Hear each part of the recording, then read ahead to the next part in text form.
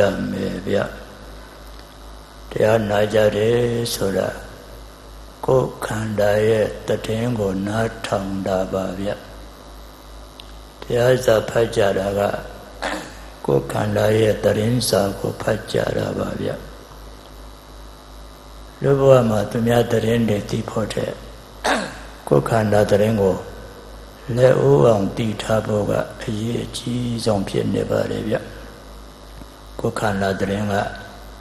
သူများခန္ဓာတဲ့ကိုယ်မှတည်င်းကအလွန်ထူးပါတယ်ဗျဗုဒ္ဓသာသနာရှိတဲ့တိုင်းပြည်မှာလူဖြစ်ခွင့်ရတာကလည်းတကြောင်ယရဏသုံးပါးနဲ့နေတိုင်းနေနေညညတန်းစီဆောင်နေကြမလို့အချိန်မရွေတွေ့ခွင့်ရတာကလည်းတကြောင်တို့ကြောင့်ကိုယ်ခန္ဓာတရင်ကအလွန်ထူးပါတယ်ဗျ တော်တော်လည်းတရင်လည်းဥဖို့လိုလိမ့်မယ်ဗျတရင်နောက်ကျသွားရင်တော့ကိုယ်ခန္ဓာအကြောင်းပြုကောင်းတဲ့အရာပိုင်ခွင့်နေနောက်ကျသွားမှာဗျ။ဩဓာတို့နာဓာတို့ကိလေသာတို့ကအကုန်ဝါစပြစ်လိုက်မှာဗျ။တရင်လည်းဥမှာပဲကိုယ်ခန္ဓာအကြောင်းပြုကောင်းတဲ့အရာပိုင်ခွင့်နေလည်းဥအောင်ရယူစုဆောင်ထားနိုင်ကြမှာဗျ။ ဒါကြောင့်တရားဟောပေးတယ်ဆိုတာတည့်ရဲ့မေးတာမဟုတ်ပေမဲ့မေးတယ်လို့ပါပဲ။ဘယ်လိုလဲဗျာကိုယ်ခန္ဓာတရင်ကိုကြားကြပြီလားဗျာလို့မေးတဲ့သဘောမျိုးပါပဲဗျအတောနတ္တဓမ္မတပရိဟာယံတိဆိုတဲ့စကားတရားမနာရခြင်းကြောင့်ကိုယ်ခန္ဓာအကြောင်းပြရပိုင်ခွင့်တရားများဆုပ်ယုပ်ကြပါလေ ကောင်းတဲ့ရပိုင်ခွင့်တွေအကြီးအကျယ်ဆုံးရှုံးနေနာနေကြပါလေအဲအောင်တရားနာတယ်ဆိုတာခန္ဓာတရင်နာထောင်တာပါဗျဒါကြောင့်သာသနာတော်နှစ်2555ခုကောဇာတက္ကရာ1383ခုနှစ်တဘောတွဲလာပြီးကျော်10ရက် ခရစ်နှစ်2012ခုနှစ်ဖေဖော်ဝါရီလ18ရက်တောက်ကြနေ့ညချမ်းအချေရန်ကုန်တိုင်းဒေသကြီးတကုံမြို့နယ်ပြည်လန်းပြည်သူဥယျာဉ်ပြည်သူရင်ပြင်ကြီးအတွင်းတရားမန္တကြီးအတွင်း၌တတ္တာမေတ္တာပညာအားကောင်းရတဲ့ ဓမ္မပေါင်းသူတော်ကောင်းတွေကညီညီညာညာပေါင်းစုပြီးတော့မြတ်ဗုဒ္ဓသာသနာတော်နဲ့2600ပြည့်အထင်အမှတ်ကိုအကြောင်းပြု၍ကောင်းမှုတရားကြိုးစားပြုလို့အထောက်နေကြတဲ့အခါမှာအမရပွဲအဖြစ်ဖြင့်ဓမ္မဒါနဓမ္မလက်ဆောင်အဖြစ်ဖြင့်ဝမ်းမြောက်ပွဲအဖြစ်ဖြင့်ဟောကြားအပ်သော 2600သာသနာတရားတော်ဒါအကြောင်းအရာနဲ့လိုက်လျောအောင်လို့ပေးလိုက်တဲ့နာမည်လုပ်ငန်းကျင့်စဉ်သဘောအားဖြင့်နာမည်ခြုံပေးရင်တော့ကုသိုလ်အစစ်နံပါတ်1တရားတော်ပေါ့ဒါတော့အလုပ်သဘောဆိုင်ရာ2600သာသနာတရားတော် ဒါမှမဟုတ်ကုသိုလ်အစစ်နံပါတ်1တရားတော်ဗုဒ္ဓသာသနာ2600အကြောင်းပြုပြီးတော့ကောင်းဖို့တဲ့လောက်နေကြတယ်။ဩနောက်တစ်ပတ်ရွှေတကုံစီတော်ကြီးရဲ့ရှေ့တောင်ဘက်ဓမ္မတော်ဓမ္မယုံမှာကျင့်ပါမယ်ဓမ္မသဘင်ပွဲကရွှေတကုံစီတော်မြတ်ကြီးရဲ့ နှစ်2600ပြည့်ပူဇော်ပဲအကြောင်းဖို့ကျင့်ပါမယ်ဓမ္မသဘင်ပွဲကအခုကတော့မြတ်ဗုဒ္ဓသာသနာ2600ပြီအထင်အမှတ်ကိုပြုလုပ်တဲ့ဓမ္မတပင်ပွဲ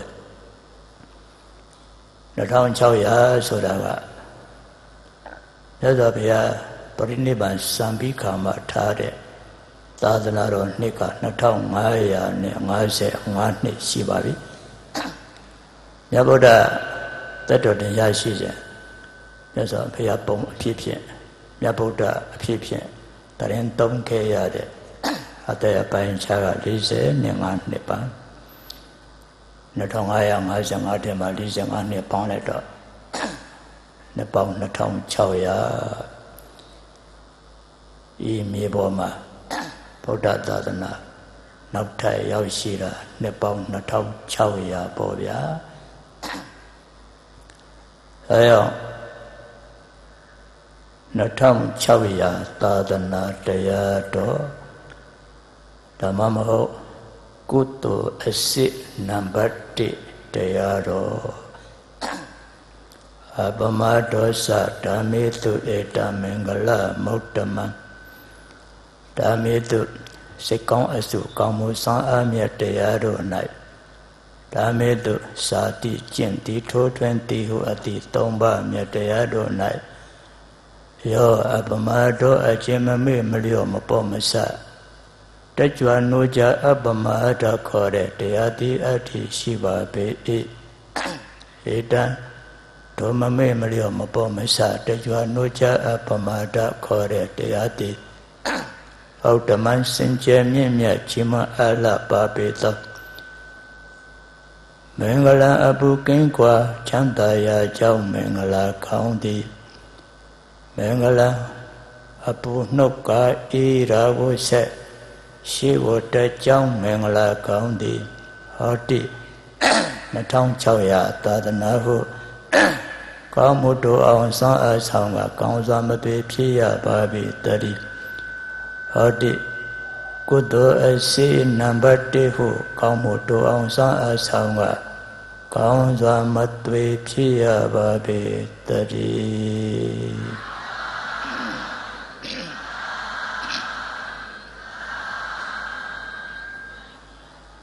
မြတ်ဗုဒ္ဓဟောခဲ့တဲ့တရားတွေအကုန်လုံးကိုခြုံကြည့်လိုက်တဲ့အခါ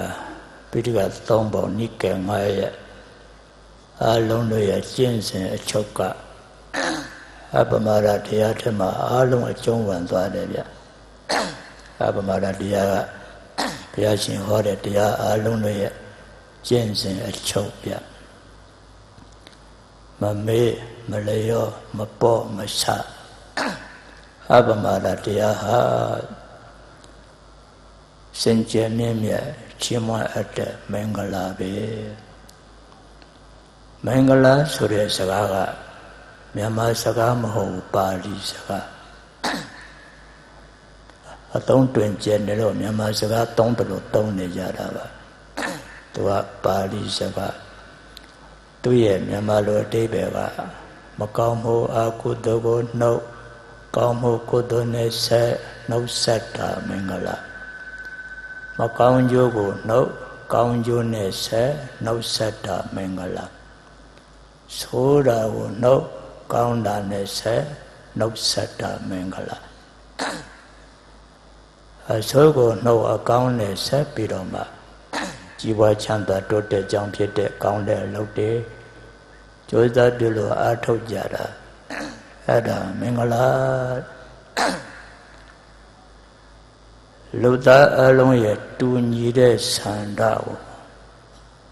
အာယုံပြုတ်ကြည့်လိုက်ပေါ့ ဘယ်လူပဲဖြစ်ဖြစ်လူသားအလုံးရဲ့တူညီတဲ့ဆန္ဒစကားနဲ့ခွဲပြောရင်တော့အများကြီးပေါ်လာလိမ့်မယ်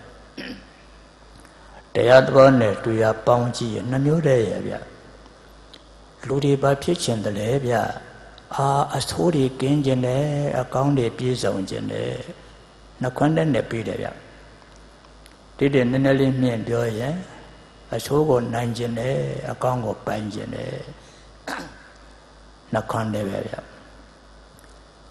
အဆိုးဆိုတာကတဘောအလုံးမှာပြိုင်နေရတဲ့အဆိုးဆုံးအရာတွေ့ရပေါင်းရနှစ်ခုတည်းပါပဲဒုက္ခကိလေသာဒုက္ခနဲ့ကိလေသာဘဝမှာပြိုင်ဖက်ပါဘွာလာကလေးကစားပြီးတော့ပါလာခဲ့ပါတယ်ဘွာလာကလေးကပါလာကတော့တဘဝနဲ့နဲ့ပြောတာ တကယ်ပါခဲ့တာကတော့အစမထန်တန်တရားကစပြီးတော့တောက်လျှောက်ပါလာခဲ့ပါတယ်အဲ့ဒီဒုက္ခနဲ့ကိလေသာအဆိုးဆုံးသောအရာများဖြစ်ကြတယ်အဲ့ဒီနှစ်ခုမှလည်းပဲကိလေသာကပိုးပြီးတော့အရင်ကြတဲ့အဆိုးပါဒုက္ခဆိုတာကိလေသာလက်ထဲမှာဒုက္ခကိုကိလေသာဖန်တီးတာပါဒုက္ခနဲ့ကိလေသာဘဝမှာအဆိုးဆုံး လူပါဖြစ်ခြင်းလဲအဲ့ဒီအဆိုးတွေကင်းကျင်တာဒုက္ခကင်းခြင်းတဲ့ကိလေသာအပူတွေကင်းခြင်းတဲ့အကောင်းနဲ့ပြည့်စုံခြင်းတဲ့အကောင်းပြည့်စုံခြင်းတဲ့အဆိုးကင်းခြင်းတဲ့အကောင်းပြည့်စုံခြင်းတဲ့အဆိုးနိုင်ခြင်းတဲ့အကောင်းပိုင်ခြင်းတဲ့ဒီလိုသူတို့လူဆန္ဒကလည်းမင်္ဂလာဆန္ဒပါပဲဗျလူသားအလုံးရဲ့ဆန္ဒက တူရပေါင်းတော်မင်္ဂလာဆန္ဒအဆိုးကင်းခြင်းနဲ့အကောင်းပြည့်စုံခြင်းတဲ့အဲတော့အဆိုးနှုတ်ချင်ပါတယ်အကောင်းနဲ့ဆက်ချင်ပါတယ်ဆိုတဲ့သဘောပါပဲလူသားအလုံးရဲ့တူညီတဲ့ဆန္ဒကမင်္ဂလာဆန္ဒတကယ်ကောင်းမှုတရားကိုအာယုံပြုကြည့်ပါဦးအဘိဓမ္မာလစ်လာဖို့တဲ့ပုဂ္ဂိုလ်တွေတည်ဖို့ပါလိမ့်မယ်ကုတလံအနာဝိဇာဒုက္ခဝိပါကလက္ခဏာ ကုသိုလ်ဆိုတာအပြည့်မရှိပါဘူးကောင်းကျိုးကိုပဲပေးပါတယ်ဘာလို့အပြည့်မရှိရတာလဲအဆိုးဆုံးဖြစ်တဲ့ကိလေသာကိုတတိဝရိယအပမရနဲ့အကန့်ကွာထိန်ချုပ်ဖယ်ရှားအနံယုပိကမှာရယူထားတဲ့ကြောင့်အဆိုးကင်းပါတယ်ပေါ့တရကတော့အပြစ်မရှိပါဘူးဆိုအဆိုးကင်းပါတယ်ကောင်းပြီဆိုတဲ့အကောင်းတရားကိုဉာဏ်နဲ့ရရှိအောင်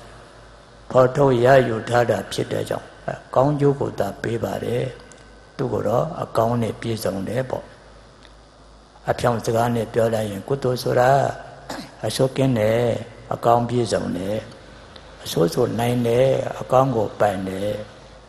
ကုသိုလ်ပိုင်ရှင်ကိုအဆိုးကင်းအောင်အကောင်းပြည့်စုံအောင်အဆိုးနိုင်အောင်အကောင်းပိုင်အောင်အလုံးစုံဆောင်ပေးနိုင်တယ် ဒါဆိုရင်ကုသိုလ်ကလည်းမင်္ဂလာကုသိုလ်ပါပဲလားဗျလူဆန္ဒနဲ့သဘောထားခြင်းတိုက်ဆောင်လိုက်တာကွမ်းလုံးကြွပဲဗျာလူဖြစ်ကျင်တာနဲ့ကုသိုလ်ကပေးမဲ့အရာတထက်တည်းဖြစ်နေတယ်ဗျ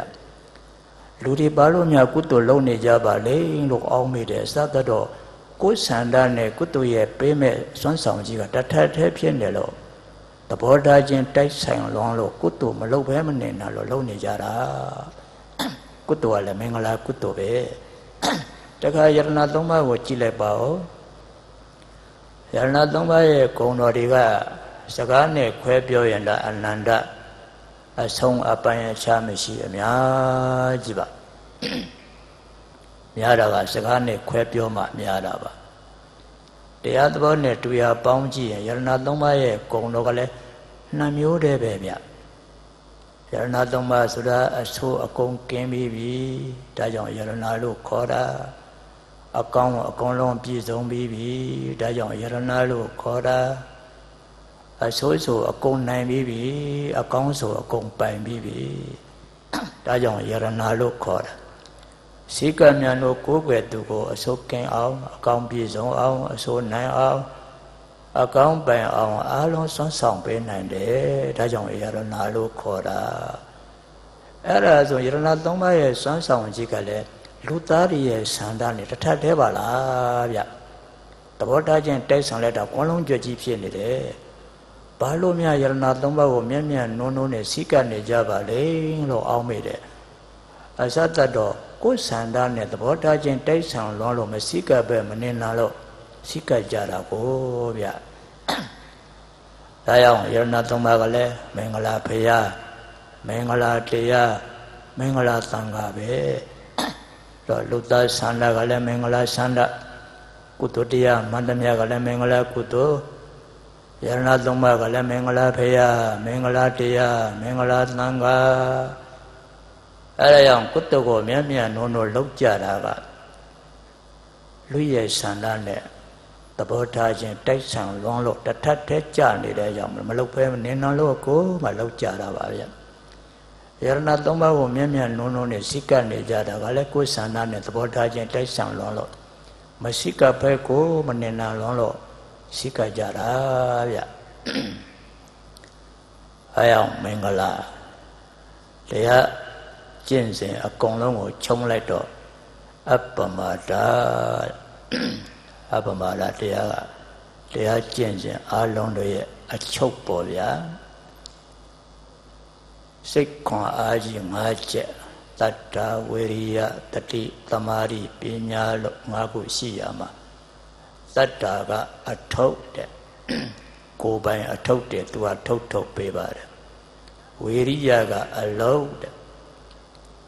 အလုံးပြောအလုံးနဲ့တူအောင် အစိုးပြတဲ့ကိလေသာနှင်းနှင်းပြီးခါမှကောင်းတဲ့စွမ်းအားတွေပေါ်လာအောင်ဖော်ထုတ်ပြီးကြိုးစားပြုလို့အထုတ်ပေးတဲ့ကြောင့်ဝေရိယကအလုံးတဲ့တမာတိကတော့အအုပ်တဲ့အအုပ်ဆိုတာက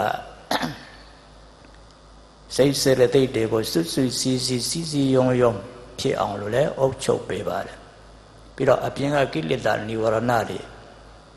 အဆိုးဆုံးဖြစ်တဲ့ကိလေသာនិဝရဏတွေဝင်ရောက်မလာရအောင်လည်းလုံးလုံးခြုံခြုံနဲ့ဖုံးအုပ်လို့ပေးပါတယ်အုပ်ချုပ်ရေးတာဝန်လည်းယူတယ်လုံခြုံအောင်ဖုံးအုပ်ပေးတဲ့တာဝန်လည်းယူတယ်ဒါကြောင့်တမာတိကအအုပ်တဲ့ပညာကတော့အဟုတ်ဟုတ်အောင်မှန်အောင်ဉာဏ်ပညာအလဲရောက်ညှိထွန်းပြီးတော့မှပြတာဖြစ်တဲ့ကြောင့်ပညာကအဟုတ် တတိကတော့အချုပ်တဲ့တတိကအလုံးရဲ့အချုပ်ပါသရတရားနဲ့ပညာတရားညီသွားအောင်လဲသူကထင်းအုပ်အုပ်ချုပ်ပြီးတော့ပေးရတယ်ထိန်ချုပ်ပြီးတော့ပေးရတယ်ဝရိယနဲ့သမာဓိညီနေအောင်လဲသူကပဲထိန်ချုပ်ပြီးတော့ပေးရတယ်ဒါကြောင့်တတိကအချို့သတ္တာကအထုပ် ဝိရိယကအလုတ်သမာဓိကအအုပ်ပညာကအဟုတ်တတိကတော့အချို့စိတ်ခွန်အား၅ချက်ပါကိုယ်စိတ်ကလေးကိုစွမ်းအားအနှစ်တွေပိုင်ပိုင်နန်းနန်းထုတ်ယူဖို့ရအတွက်စွမ်းဆောင်ပေးကြတဲ့စိတ်ခွန်အား၅ချက်ပါအဲရမလို့သာသနာကျင့်စဉ်အချုပ်ဖြစ်တဲ့အပ္ပမာဒတရားနဲ့ မြတ်ဗုဒ္ဓသာသနာကိုလက်တွေ့ကျင့်သုံးပြီးတော့လဲပူဇော်ကြမယ်ဟောလို့နားလို့နှလုံးသွင်းလို့ဆင်ကျင်လို့လည်းပဲပူဇော်ကြမယ်ပေါ့ဗျာမြတ်ဗုဒ္ဓလောကမှာပွန်ထွန်းပေါ်ပေါက်တော်မူလာရတာကဒုက္ခအပူအနိုင်ယူဖို့သုံးလူထွက်တာမြတ်ဖရာထင်ရှားပေါ်လာ၏ ခုနပြောတဲ့ဒုက္ခတွေလေ။အိုရတဲ့ဒုက္ခ၊နားရတဲ့ဒုက္ခ၊သိရတဲ့ဒုက္ခစတဲ့ဒုက္ခမျိုးစုံအဲ့ဒီဒုက္ခတွေအနိုင်ယူဖို့လို့မြတ်ဗုဒ္ဓလောကတဲ့ပွန်တွန်းပေါ်ပေါက်တော်မူလာခဲ့တာအပူစရကိလေသာကိုပြောတာကိလေသာအပူကိုအနိုင်ယူဖို့လို့မြတ်ဗုဒ္ဓလောကမှာပွန်တွန်းပေါ်ပေါက်တော်မူလာခဲ့တာကိလေသာ အပူတွေကိုတော့မြတ်ဗုဒ္ဓကဝါသနာနဲ့တကွာအကုန်လုံးအကျွမ်းမဲ့ပယ်လိုက်ပါပြီနောက်ထပ်လုံးဝမဖြစ်တော့ပါဘူး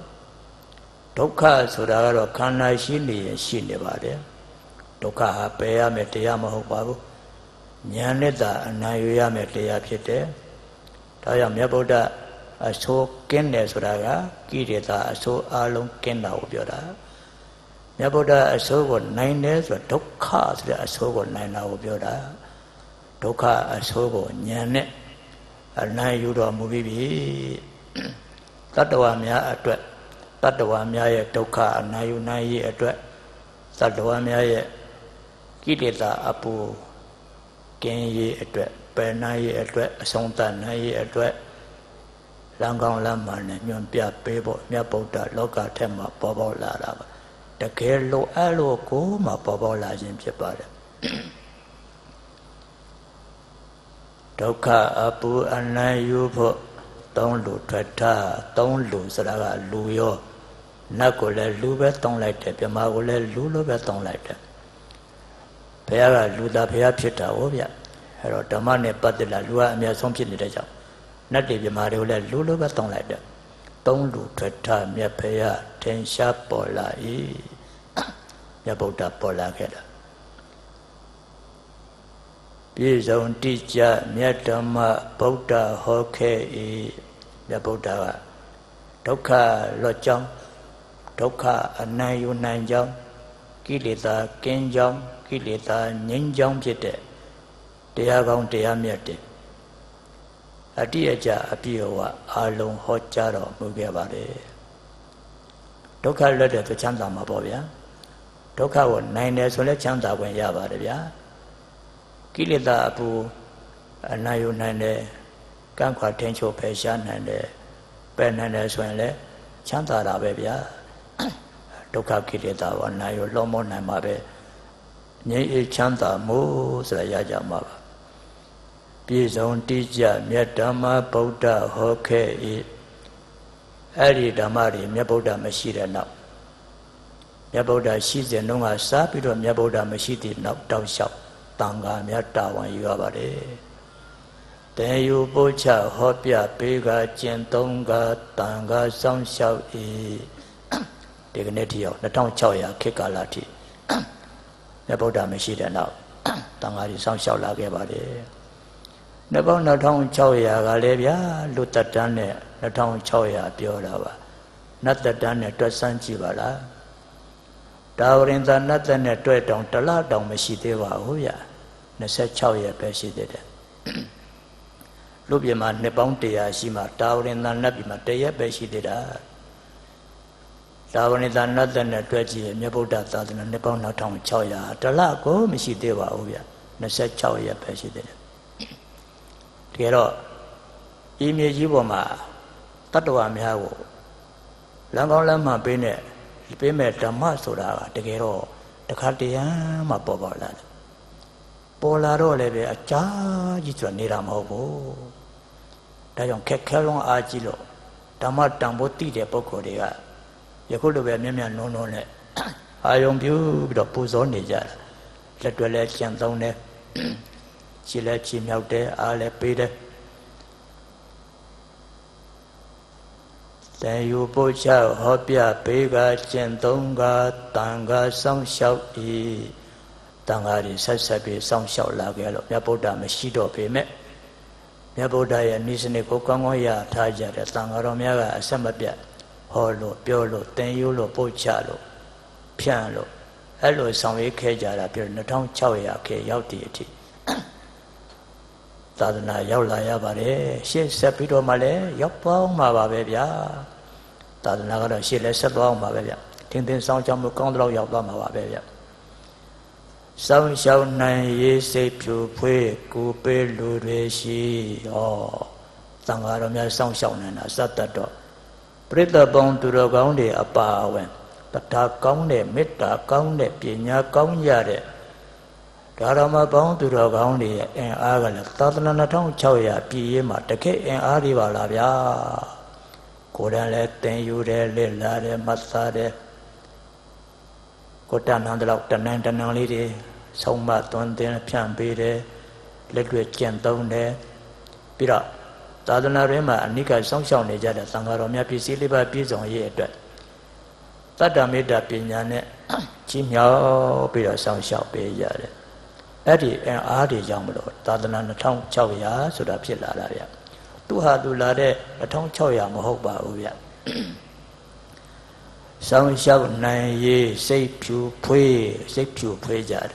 မတတ်တလုံးလို့လုတ်တယ်လုတ်တယ်မဟုတ်တတတရားကောင်းတယ်မေတ္တာတရားကောင်းတယ်ပညာတရားကောင်းတယ်ကိုယ်အတွက်လဲစွမ်းအားတွေရအောင်ဖြစ်ခြင်းမဲ့ချိုးစားမဲ့အားထုတ်မဲ့ ဗုဒ္ဓသာသနာတော်များကြီးတွေ့ခဲ့ကြုံခဲ့လာတဲ့သာသနာတော်များကြီးကြာကြာတည်ရဲ့အတွက်တန်ရှင်းတည်တံ့ပြန်ပွားရေးအတွက်လဲအစွမ်းကုန်ရှင်းမြောက်တယ်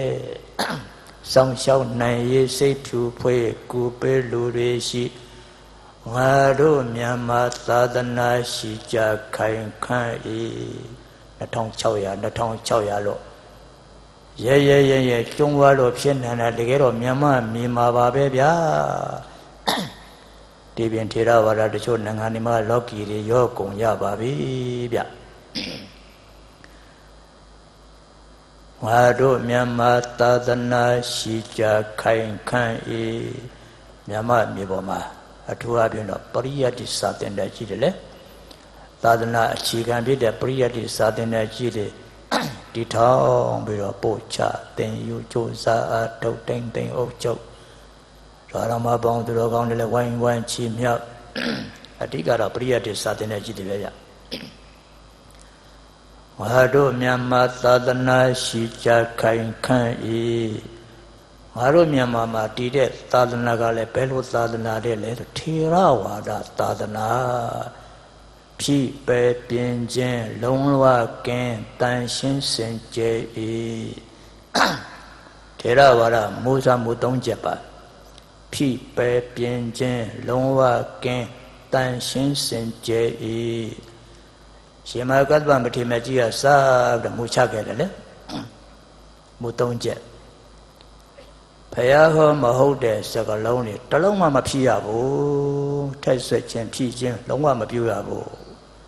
ဒီကနေ့ထိဒီတိုင်းပဲလာခဲ့တာပါဘုရားဟောမဟုတ်တဲ့စကလုံးတွေတစ်လုံးမှမထက် သံဃာနဲ့တင်းတဲ့အခါမှာသုံးတဲ့ဧဝမတုတန်စတဲ့စကလုံးတွေဘဂဝါဣတ္တဒေါသစတဲ့စကလုံးဒါတာစကားဆက်အနေနဲ့ထဲတာဒါတွေကဘုရားဟောစကားထဲမှာထဲတာမဟုတ်ဘူးဒီဘုရားဟောစကလုံးတွေကဘယ်နေရာမှာဟောတယ်ဘယ်သူကဘယ်လိုပြောတယ်ဘယ်သူကိုဟောတယ်ဆိုတာမျိုးတွေသိအောင်လို့ထဲတာဒါတွေကဘယ်ဟောစကလုံးထဲမှာတော့ဘယ်စကလုံးမှတစ်လုံးမှမထည့်ရဘူးဖိပဲ ဘယ်ဟောထားတဲ့စကလုံးတွေကိုကိုညံမမီတာနဲ့မလို့ဟောပဲတီဖြုတ်မလုပ်ရဘူးတဲ့ဘယ်ဟောတိုင်းပဲထားရပယ်ခြင်းဖြုတ်ခြင်းလုံးဝမပြုရဒီကနေ့ဒီမြတ်မြေပေါ်မှာသာသနာကဒီတိုင်းပဲလာခဲ့ပါလေဒီမို့အတိုင်းပါပဲပြင်ခြင်းဘယ်ဟောစကလုံးတွေအထိပ္ပယ်ပြောင်းလဲသွားအောင်လုံးဝမပြင်ရဘူးဒီမူအတိုင်းပဲမြန်မာမြေပေါ်မှာသာသနာဒီတိုင်း ခံခံမမနဲ့လာခဲ့ပါတယ်ပြင်ဆိုတာကဘုရားဟောတဲ့စကားလုံးတွေကိုတိပ္ပယ်ပြောင်းအောင်ပြင်တော်ပြောတာခေအဆက်ဆက်တဲဆောင်လာခဲ့ကြလို့အခရပုပ္ပတ်တွေချိုရင်းလို့ပြင်တာမျိုးကိုဆိုလိုတာမဟုတ်ပုံနဲ့တဲ့အခါမှာအရှင်ချင်းမာယွန်တာတွေချွတ်ချော်တာတွေတိမ်မာတာတွေဒါတွေကိုပြင်တာမျိုးကိုဆိုလိုတာမဟုတ်ပါဘုရားဟောစကားလုံးအတိပ္ပယ်ပြောင်းလဲသွားအောင်ပြင်တာကိုပြောတာ အဲ့လိုပြင်ခြင်းလဲလုံးဝမပြုပါဘူးမြန်မာမြေပေါ်ကသာသနာကတကယ်မြတ်ဗုဒ္ဓဟောထားတဲ့အတိုင်းတန်တန်ရှင်းရှင်းစင်စင်ကြဲကြဲဒီကနေ့ဒီဒီတိုင်းပါပဲအဲကြောင့်ဖြိပဲပြင်ခြင်းလုံးဝကင်းတန်ရှင်းစင်ကြဲဤထေရဝါဒမြတ်ဓမ္မအလှပိုင်ဆိုင်ဤဩသာသနာထဲမှာလည်း မြန်မာသာသနာကကဘာမှာအလှဆုံးသာသနာပါပဲလားဗျထေရဝါဒမူအတိုင်းတန်တန်ရှင်းရှင်းတတရရဘုရားဟောတဲ့မူအတိုင်းပဲဆောင်လာခဲ့တာထေရဝါဒမြတ်ဓမ္မအလှပိုင်ဆိုင်၏2600သာသနာကောင်းစွာရောက်လာ၏ဒီတိုင်းပဲရောက်လာခဲ့တာဩ2600ဒီငါတို့မြန်မာရဲ့သာသနာက ကဘာကအာကုရလောက်အောင်ခန်းခန်းမာမာတန်တန်ရှင်းရှင်းခုတည်းတည်းရှိသေးပါတယ်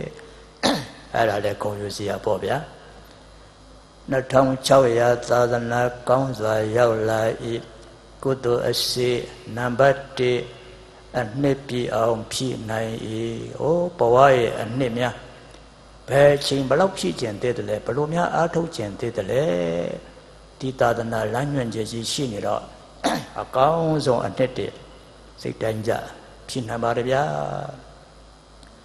ဒါကြောင့်အဲ့ဒီဓမ္မကုံတွေသာသနာကုံတွေအာယုံပြုတ်ပြီးတော့မှဝမ်းမြောက်ဝမ်းသာနဲ့ပူဇော်ပြီးတော့နေကြတယ်ဗျသာသနာ2600ပြည့်တည်ထိသဲဆောင်လာတဲ့အထက်မှာငါတို့လည်းပါပါတကားလို့အတက်စီရလည်းပဲတွေးလိုက်တော့ပေါ်လာမှာပေါ့နော်အများကြီးပဲ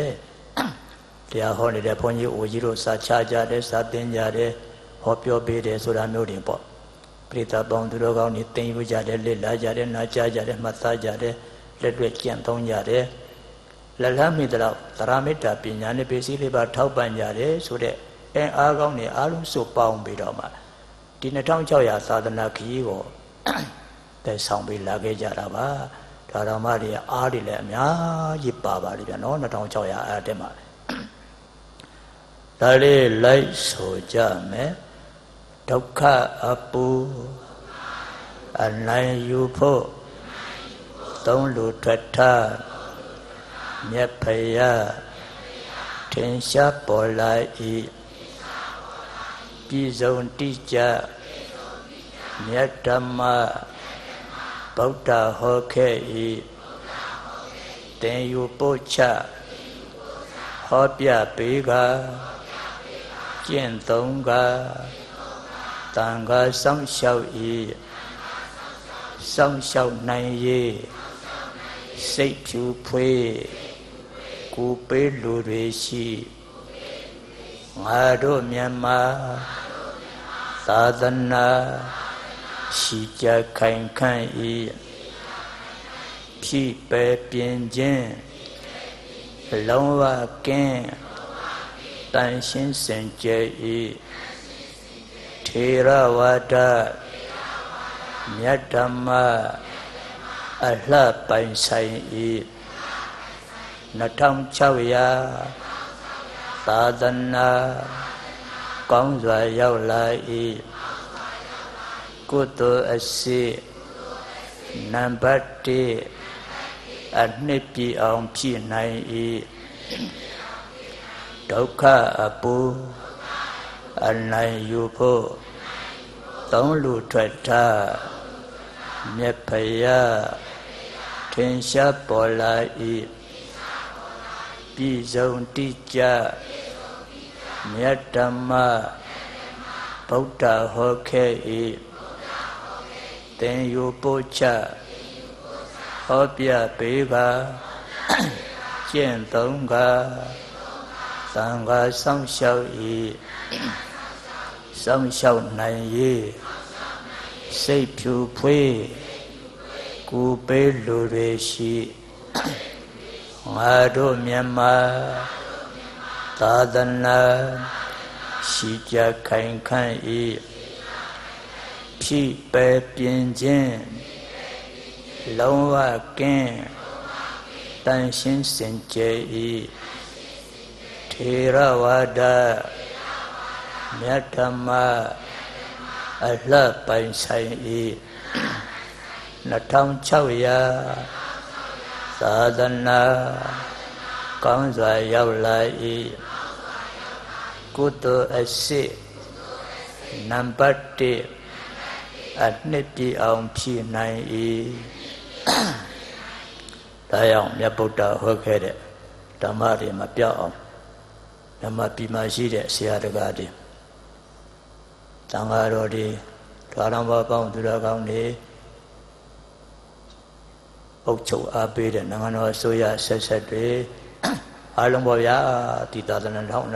2600ပြည်တည်ကြီးအားပေးခဲ့ကြတဲဆောင်ခဲ့ကြတာဒီအုပ်ချုပ်ရေးတာဝန်ယူတဲ့နိုင်ငံနိုင်ငံတော်အစိုးရဆက်ဆက်တဲ့ပါဝင်ပေါ့အားလုံးပေါ့သာသနာကိုကြီးမြောက်ကြတော့လေ မေတ္တာတရားရှိရထားပြီးတော့ဆောင်ရွက်ကြတယ်ဒါကြောင့်လဲကြည်နူးတယ်ကြည်နူးဖို့ကောင်းတယ်ဝမ်းမြောက်ဖို့ကောင်းတယ်မေတ္တာရှိရထားကြတယ်။ဘာကြောင့်သူချမ်းသာစေရမလဲ။ဘောသူကြောင့်လည်းငါချမ်းသာရမှာပေါ့။ဘာကြောင့်သူတို့ချမ်းသာရမယ်လေ။အလုံး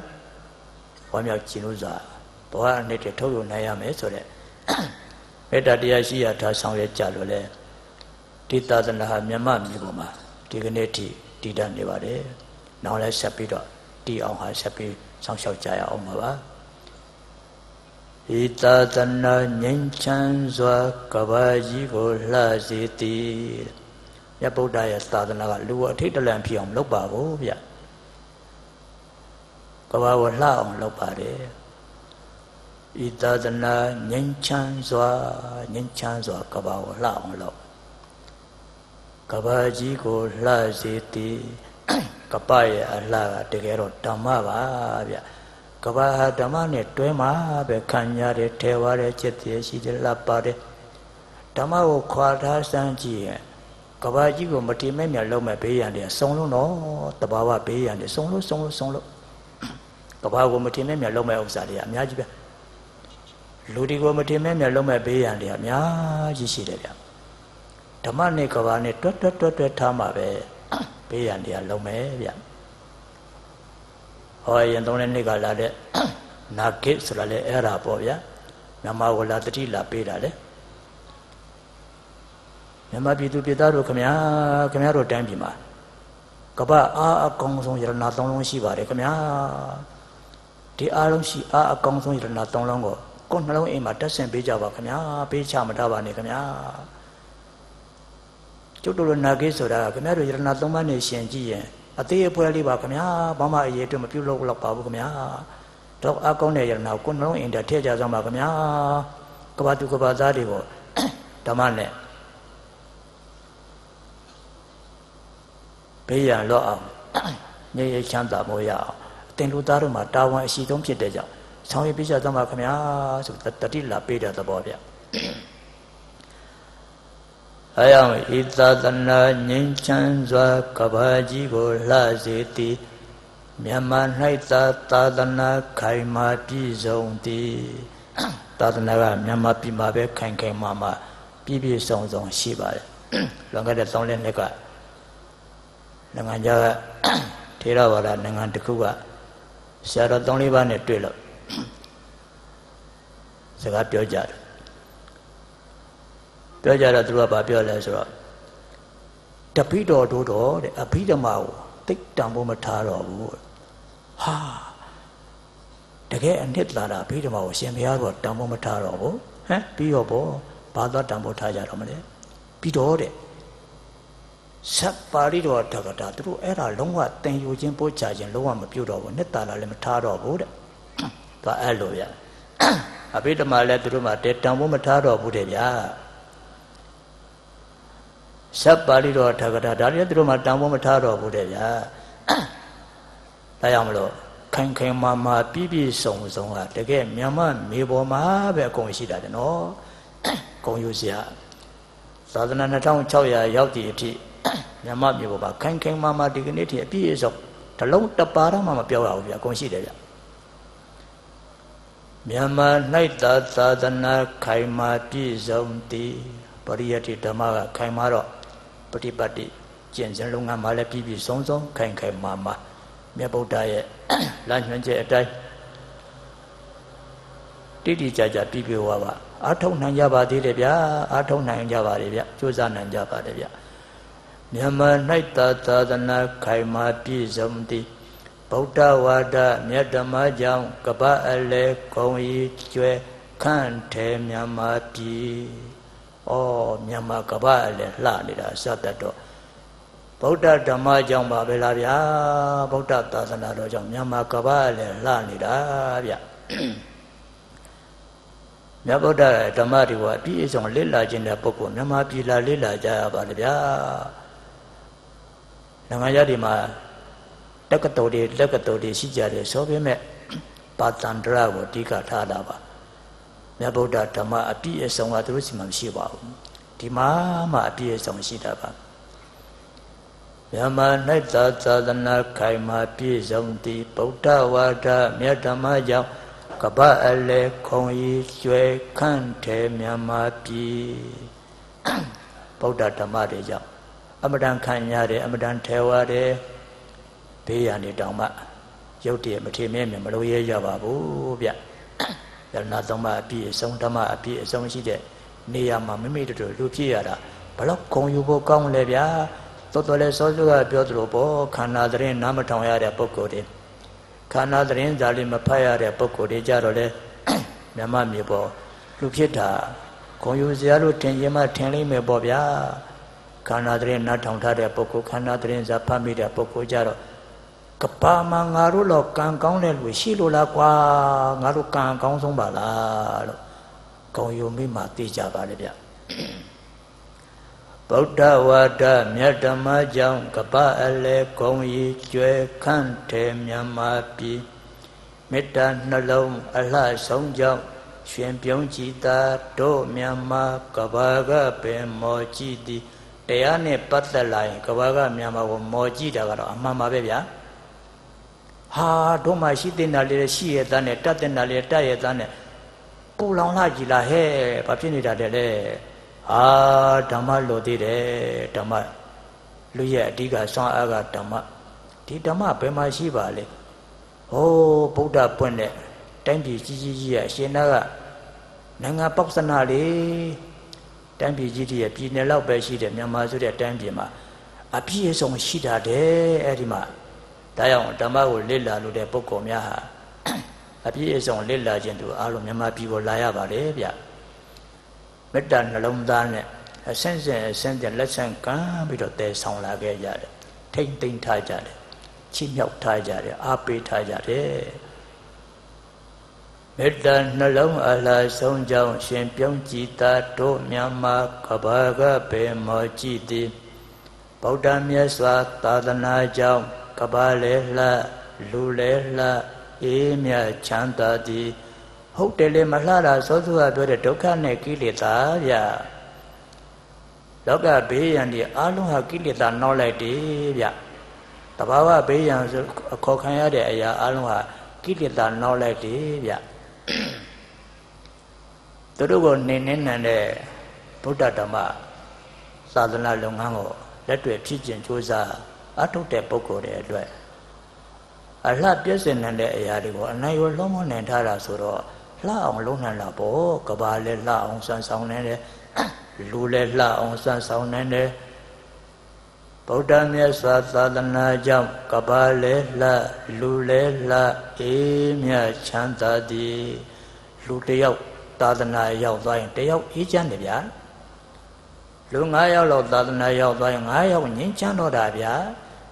ဒါအရိယာဖြစ်တာမဟုတ်သေးဘူးနော်သီလသမာဓိပညာဖြစ်ခြင်းတဲ့အပန်းလေးပဲရှိသေးတယ်ဒါတော့ငြိမ်းချမ်းတယ်ဗျတရားကွက်လောက်သာသနာရောက်သွားရင်တရားကွက်ငြိမ်းချမ်းတာပေါ့ဗျာတဏ္ဍာသာသနာရောက်ရင်တဏ္ဍာငြိမ်းချမ်းတာပေါ့ဗျဗုဒ္ဓမြတ်စွာသာသနာကြောင့်ကပါလဲလှလူလဲလှအေးမြချမ်းသာသည် နောက်ဆုံးမှာကမြတ်တရားသာထောက်တီးရာလူမဆွမ်းအားပြည့်ဝသည်လူရဲ့နောက်ပေဆုံးထောက်တီးရာပါလေတရားဓမ္မလူတွေပိုက်ဆံရှာတယ်ပိုက်ဆံရဲ့နောက်ဆုံးထောက်တီးရာပါလေဝေဒနာတိလဘာဝနာတရားဖြစ်ရမှာပေါ့ဗျာစာဝတ်နေဟာပန်းတယ်မှာမဟုတ်ပဲနဲ့လူတွေပစ္စည်းရှာတယ်ပစ္စည်းရဲ့နောက်ဆုံးထောက်တီးရာပါလေအတရားပဲဖြစ်ရမှာပေါ့ဒါနတိလဘာဝနာပေါ့ လူတွေစာဝတ်နေရလောက်ကြတယ်စာဝတ်နေရနောက်ပေးဆုံးထောက်တည်ရပါလေဒါနတိလဘာဝနာတရားပဲဖြစ်ရမှာပေါ့ဗျာယရနာကြောမှနေတဲ့ပုဂ္ဂိုလ်တွေသာသနာရှိတဲ့တိုင်းပြည်မှာနေတဲ့ပုဂ္ဂိုလ်တွေအားလုံးတွေရဲ့နောက်ဆုံးထောက်တည်ရအတရင်အမြတ်ဟာတရားပဲဖြစ်ရမှာဈေးရောက်နေဈေးရောက်ကြီးရဲ့အတရင်အမြတ်ကပါလေဒါနတိလဘာဝနာတရားပဲဖြစ်ရမှာဗျပိုက်ဆံအမြတ်ကဧည့်သည်တွေဗျခဏနေပြန်သွားကြမှာ ခဏနေကုန်းသွားကြမှာကိုယ်စီမှာမကုန်းနိုင်တဲ့အသရင်အမျက်ကြံပွဲကြံခဲ့ဖို့ကလိုတာဗျသာသနာနဲ့တွေ့တဲ့ပုဂ္ဂိုလ်များဟာခန္ဓာကိစ္စနဲ့တရားဟာသဟဇာတဖြစ်ဖို့ကအရေးကြီးတော့ခုနပြောတဲ့အပမဒောဇဓမ္မေတုဧတံမင်္ဂလမௌတမံဆိုတာက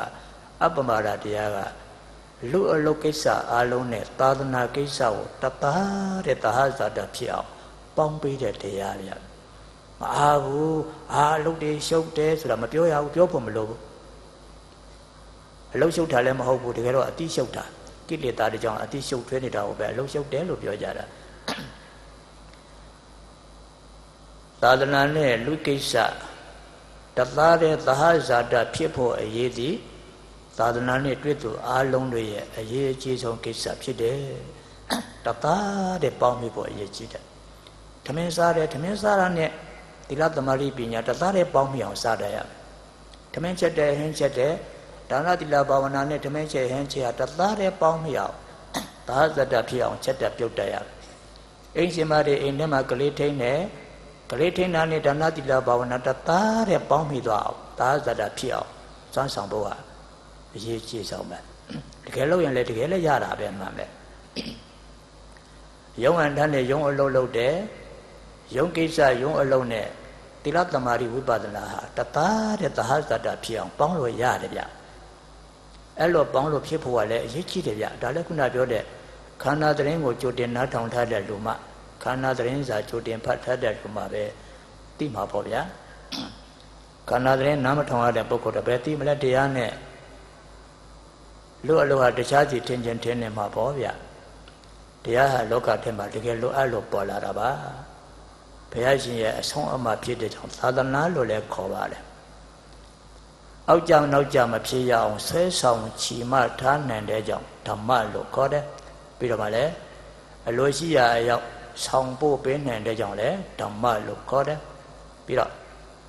ဆင်းရဲမလို့ခြင်းသူချမ်းသာလို့ခြင်းသူမလွတ်တမ်းအမြဲတမ်းဆောင်ထားရမယ့်အရာဖြစ်လို့အကောင်းဆုံးအဆောင်ဖြစ်လို့လေဓမ္မလို့ခေါ်တယ်သာသနာကိုပဲဓမ္မလို့ခေါ်တာပါ ဓမ္မနဲ့သာသနာတူတူပါပဲဒါကြောင့်လူကိစ္စမျိုးစုံနဲ့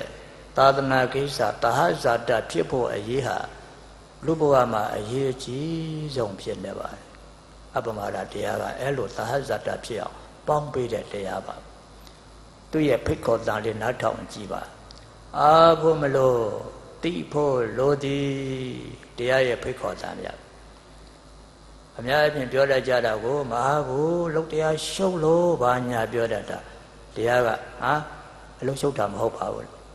အားဖို့လည်းမလိုပါဘူးအတိတရားတောင်းတာပါအားဖို့မလို့တိဖို့လိုသည်တရားတရားဆိုတာဗျာရှင်းရှင်းပြောရင်အတိအပေါ်ကအရှိအပေါ်ကအတိလုံးမောနှံအောင်လုပ်တာအဲ့ဒါတရားလို့ခေါ်ပါတယ်အရှိကအပေါ်က အတိကအောက်ကနေရင် လောကလူသားလောကလူသားဆိုရင် လောကပြောတဲ့စကားပြောင်းလေးလို့ပေါ့ဗျာလောကဆိုတဲ့စကားလုံးကအမနပါဠိစကားပါစကားပြောင်းလေးနဲ့ပြောကြတာကဩလောကလောကလောကလောတဲ့လူကလောဟဲ့ကတဲ့လူကကဟဲ့ကတဲ့လူကလည်းမကြားဘူးတော့တဲ့လောပြန်ရောဟဲ့လောတဲ့လူကတတရဏကထကပြန်ရောဟဲ့ ဩလောကလောကလောကလောတဲ့လူကလောကတဲ့လူကကစကားပြောင်းလေးနဲ့ပြောကြဒီတိုင်းပဲသွားနေတာပါအရှိကအပေါ်ကအတိကအောက်ကဆိုရင် လောကလူသားအတိကအပေါ်ကအရှိကအောက်ကဆိုရင်ဓမ္မလူသားတရားရဲ့လိုရင်အတူချုပ်ကဒါပဲဗျ။ဒါကြောင့်တရားတရားဆိုတာ အရှိအပေါ်ကအတိလုံးမောနှောင်အမြဲတမ်းလေ့ကျင့်နေရတာဒါတရားလို့ခေါ်ပါတယ်။နောက်ပြီးတော့လေခုနပြောတဲ့ဘဝရဲ့ပြိုင်ဘက်ဒုက္ခနဲ့ကိလေသာအပေါ်မှာအားပြိုင်အနိုင်ကိုစိန်ခေါ်နှံလောက်အောင်အားပါမှတရားလို့ခေါ်တာပါဗျ။တရားအစစ်ဆိုတာအဲ့ဒါကုသိုလ်အစစ်နံပါတ်1ကလည်းအဲ့ဒါပြောတာပါရ ဒုက္ခနဲ့ကိလေသာအပေါ်မှာအပြန်အနာယစိန်ခေါ်နေလောက်အောင်အာပါမတရားအစစ်လို့ခေါ်တယ်ကုသိုလ်အစစ်လို့လည်းခေါ်တယ်အရှိအပေါ်ကအတိလုံးမနလောက်အောင်အာပါမတရားအစစ်လို့ခေါ်တယ်တိခန္ဓာအရှိနေပစ္စည်းဥစ္စာအရှိသုံးဆွေမျိုးမိသားစုအရှိလေးအလုတ်တာဝန်ကိစ္စအရှိငါအိုနာစတဲ့ခန္ဓာဒုက္ခအရှိ6 ပုထုဇဉ်နဲ့မကင်းတဲ့ကိလေသာဆိုတဲ့အရှိတွေအပေါ်ကအတိလုံးမောနာအောင်လှုပ်တာမျိုးကိုတရားဒါကြောင့်လဲတရားနေနေတဲ့ပုဂ္ဂိုလ်တွေကအဆိုးတွေကြားထဲမှာတည်တည်ငြိမ်ငြိမ်ရရင်ရင်ကြဲကြဲအေးအေးချမ်းချမ်းပြုံးပြုံးရွှင်ရွှင်နေနိုင်တာပေါ့အရှိအပေါ်ကအတိကလွှမ်းမိုးထားတာကိုဒါကြောင့်မလို့တရားစွမ်းအားဟာဒီမြန်မာမျိုးပေါ်မှာလိုသလောက်ဖြည့်ခွင့် ဖြည့်ကျင်အားထုတ်နိုင်ခွင့်ရတယ်ဗျာအဲကြောင့်ကုသိုလ်အစစ်နံပါတ်1အနှစ်ပြည့်အောင်ဖြည့်နိုင်သည်သာသနာနဲ့တွေ့တဲ့ပုဂ္ဂိုလ်တွေယရဏနဲ့တွေ့တဲ့ပုဂ္ဂိုလ်တွေလူကိစ္စနဲ့သာသနာကိစ္စတသားတဲ့သဟဇာတဖြစ်အောင်ကြိုးစားပြုလို့အထုတ်ကြရမယ်ဗျာဒါလေးလည်းလိုက်ဆိုကြမယ်ဤသာသနာ ငြိမ်းချမ်းစွာကပကြီးကိုလှစေတည်မြတ်မာ၌သာသာသနာခိုင်မာပြည့်စုံသည်ဗုဒ္ဓဝါဒမြတ်ဓမ္မကြောင့်ကပအလဲခေါင်းဤကျွဲ ခန့်တယ်မြတ်မာပြီမေတ္တာနှလုံးအလှဆုံးကြောင့်ရှင်ပြုံးကြည်တာတို့မြတ်မာကဘာကပင်မောကြည်သည်ဗုဒ္ဓမြတ်စွာသာသနာကြောင့်ကပါလဲလှလူလဲလှ အေးမြချမ်းသာသည်နောက်ဆုံးမှာကမြတ်တရားသာထောက်တီယာလူမဆွမ်းအားပြဝသည်2600သာသနာကောင်းစွာပြောက်လာသည်ကုသိုလ်အစီနံပါတ်1 အနှစ်ပြည့်အောင်ဖြည့်နိုင်သည်ဧသာသနာငြိမ်းချမ်းစွာကဘာကြီးကိုလှစေသည်မြတ်မာ၌သာသာသနာခိုင်မာပြည့်စုံသည်ဗုဒ္ဓဝါဒမြတ်ဓမ္မကြောင့် ကပအလဲဂုံဤကျွဲခန့်ထေမြတ်မာပြည်မေတ္တာနှလုံးအလှဆုံးကြောင့်ရှင်ပြုံးကြည်တာတို့မြန်မာကဘာကပေမောကြည်တိဗုဒ္ဓမြတ်စွာသာသနာကြောင့်ကပါလေလ လူလေလအေးမြချမ်းသာသည်နောက်ဆုံးမှာကမြတ်တရားသာထောက်တီယာလူမဆွမ်းအားပြည့်ဝသည်2600သာသနာကောင်းစွာရောက်လာသည်ကုသိုလ်အရှိ နံပါတ်1အနှစ်ပြည့်အောင်ဖြည့်နိုင်သည်အဲရောက်လူနဲ့တရားတသားတဲ့ပေါင်းမိအောင်တတိရှိရထားကြိုးစားကြရမှာပေါ့ဗျာမြတ်မမြင်မာလူများစွာ ကောင်းတာအမြဲတွေ့နိုင်သည်မြတ်မမြေပေါ်မှာတဲ့လူခများများ ကောင်းတာနဲ့အမြဲတမ်းတွေ့နိုင်တယ်သာသနာရှိတာကိုဗျယရဏသုံးပါးရှိတာဆိုတော့အကောင်းတွေကအမြဲတမ်းတွေ့လို့ရတယ်ယရဏသုံးပါးကလည်းသာသနာရှိနေတော့သာသနာနည်းစနစ်နဲ့အသိဉာဏ်သရတရားနဲ့ဖော်ပြီးတော့တွေ့မယ်ဆိုအချိန်မရွေးတွေ့လို့ရတယ်မြတ်မမြင်မာလူများစွာ ကောင်းတာအမြဲတွေ့နိုင်သည် သုံးပါးမြတ်စွာယရဏချိန်ကာမ၍တွေ့နိုင်သည်မြတ်မမြေပေါ်မှာယရဏသုံးပါးနဲ့အချိန်မရွေးတွေ့နိုင်တယ်ဗျာတန်းစီစောင့်နေကြမလို့ပါဘူးဗျာအခုတွေ့ခြင်းအခုတွေ့လို့ရပါတယ်ဗျာအေယထတွေ့ခြင်းချက်ချင်းတွေ့လို့ရပါတယ်ဗျာအေယကတရေနိုးလေးတွေ့ခြင်းနဲ့တွေ့လို့ရပါတယ်ဗျာနေမကောင်းတဲ့ခါတွေ့ရင်လည်းတွေ့လို့ရပါလေဗျာကိုယ်စီမှာတရားပညာတရားတာရှိမယ်ဆိုရင် ရဏသုံးပါးနဲ့အချိန်မရွတွေ့ခွင့်ရှိတယ်မြမမျိုးလူဖြစ်ရတယ်အဲ့ဒါပေါ့ဓမ္မကိုဘေးဖယ်ထားလိုက်ရင်ခုနပြောတဲ့လောကလူသားဖြစ်သွားပြီလေလောကလူသားဖြစ်ရင်ပိုက်ဆံလဲဒုက္ခအောက်ကပိုက်ဆံပဲဗျကိလေသာအောက်ကပိုက်ဆံပဲဗျလောင်စာထဲမှာအကုန်ပါသွားမှာဗျကိုကဲမဲ့ပိဿံပစ္စည်းမဟုတ်နိုင်တော့ဘူးဗျ စာဝနေဟာလေဒုက္ခအောက်ကစာဝနေရကိရိတာအောက်ကစာဝနေရသာဖြစ်တော့မယ်ဗျာကိုကဲမဲ့အရာတွေမဟုတ်တော့ဘူးဗျာလောင်စာတွေထဲပါသွားမယ်ဗျာလူနေစဉ်လုပ်နေတဲ့လောကိစ္စအကုန်လုံးဟာလည်းပဲဓမ္မအသိဉာဏ်လေးကိုခွာထားလိုက်မယ်ဆိုရင်ဒုက္ခအောက်ကအလောကိစ္စတွေကြီးပဲဖြစ်သွားတော့မယ်ကိလေသာအောက်ကအလုကိစ္စတွေကြီးပဲဖြစ်သွားတော့မယ်ကိုယ်ကဲမှာမဟုတ်တော့ပါဘူးဒါကြောင့် တရားအသိဉာဏ်ကအဘောကနေနိုင်မှာပဲဓမ္မလူသားဖြစ်မှာသာစာအားတွေကိုရမှာဖြစ်တယ်ဘာမဆိုဒုက္ခလွတ်ကြောက်အပူငြိမ်းကြောင်းစွမ်းအားကောင်းတွေပေါ်အောင်ဖော်ထုတ်နိုင်ဖို့အပမဒဆိုတဲ့တတိညာကိုအများရန်လက်ခံပြုကြရမှာပါဒါကြောင့်သုံးပါးမြတ်စွာယရဏချိန်ခါမ၍တွေ့နိုင်သည်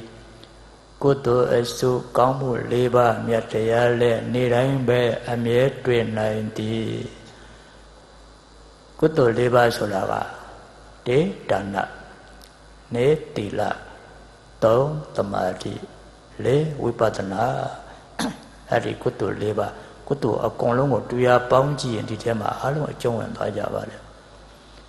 အဲ့ဒီကုသိုလ်၄မျိုးကလည်းနေတိုင်းအချိန်မရွေးလုံးနိုင်တယ်မြမမြေပေါ်လူဖြစ်ရတာအဲ့ဒါပဲသာသနာရှိတာကိုဗျ2600ရောက်တည်ရှိသာသနာခင်ခင်မာမာရှိနေတော့အကောင်းဆုံးဘဝအနှစ်တွေကိုအရှင်မရွေးထုတ်ယူနိုင်တယ်ဗျသူရဲ့ဖိတ်ခေါ်တန်ခါလည်းခုနအတန်းပေါ့အာဖို့မလို့တိဖို့လို့ဒီတင်ရှားတဲ့ပိုက်ဆံနဲ့တရားတသားတည်းပေါင်းလို့ရသည် တင်ရှားလို့ရတဲ့ပိတ်ပစ္စည်းတွေနဲ့တရားတသားတည်းပေါင်းထားလို့ရသည်သူလုတ်လုတ်တင်လုတ်ကန်ဆောင်ရွက်နေတဲ့ရုံးအလုပ်ကိစ္စတွေနဲ့တရားနဲ့တသားတည်းပေါင်းထားလို့ရသည်အာဖို့မလို့တိဖို့လို့ဒီတရားရှင်းရှင်းလေးပဲဖိတ်ခေါ်နေပါလေဗျသာသနာနဲ့တွေ့တော့ကိုယ်တဏ္ဍသာသနာမရောက်မရှိပါစေနဲ့ဆိုပြီးတော့တရားအဲ့လိုဖိတ်ခေါ်ပေးပါလေဗျအဲကြောင့်ကောင်းမှု၄မျိုးကလည်းနေတန်းလို့လို့ရတယ်ဗျ တတိရှိရထားမယ်ဆိုရင်ကိလေသာတွေပေးဖဲကန့်ခွာထိန်ချုပ်ဉာဏ်ဖောကောင်းမှုကုသိုလ်အချိန်မရရတယ်ဗျစားရင်လည်းရတယ်လမ်းသွားရင်လည်းရတယ်ချက်ရင်ပြုတ်ရင်လည်းရတယ်ကလေးထင်းရင်လည်းရတယ်အာစီးပွားရေးလုပ်နေကြတဲ့ဆိုင်တွေရောင်းတဲ့ဆိုင်တွေလက်ဖေးဆိုင်တွေစားတော့ဆိုင်တွေအိုးယူတတ်လို့ယန္တနာတိလဘာဝနာတန်းစီကောက်ရုံပဲလေသာသနာယရဏကြောဘုက လူသားအလုံးမှာကုသိုလ်မရနိုင်တဲ့လူရှိမှမရှိပဲဗျာယူတတ်မယ်ဆိုရင်တော့ကုသိုလ်ကတော့တန်းစီကောက်ရုံပဲဗျာဘဝအနှစ်တွေလိုတော့ထုတ်ယူနိုင်ခွင့်ရှိပါတယ်ဗျကုသိုလ်အစုကောင်းမှု၄ပါးမြတ်တရားလဲနေတိုင်းပဲအမြဲရနိုင်သည်ကုသိုလ်နေတိုင်းရနိုင်ပါတယ်ဒါနနေတိုင်းလုပ်လို့ရပါတယ် ကိုမိသားစုကြွေးတာဒါနဖြစ်အောင်ကြွေးတတ်ဖို့လိုမယ်လေခုနပြောတဲ့သာဟဇတဖြစ်ဖို့လိုတယ်လေနေ့စဉ်လုပ်နေတဲ့အလုပ်နဲ့တရားနဲ့သာဟဇတဖြစ်ရင်မိသားစုကြွေးတာတပြုံးပြုံးကြွေးနိုင်ပါလိမ့်မယ်ဗျာမင်းတို့တို့ကြွေးရတော့တန်တကွာတန်တယ်တန်တယ်ငါတို့ကြွေးတာဒီနေ့မှတလောက်ကလေးရဟရတာကဗုဒ္ဓသာသနာယရဏကျောပမာဆိုတော့မဲ့ပေါ်နိဗ္ဗာန်ရောက်အကျိုးပြုလို့မကုန်နိုင်တဲ့ဒါနကောင်းမှုတွေရလိုက်တာကွာ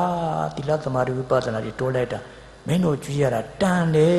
ကွာတန်တယ်လက်ခမောင်းခတ်ကိုကျုံသွားပါလိမ့်မယ်ဗျာ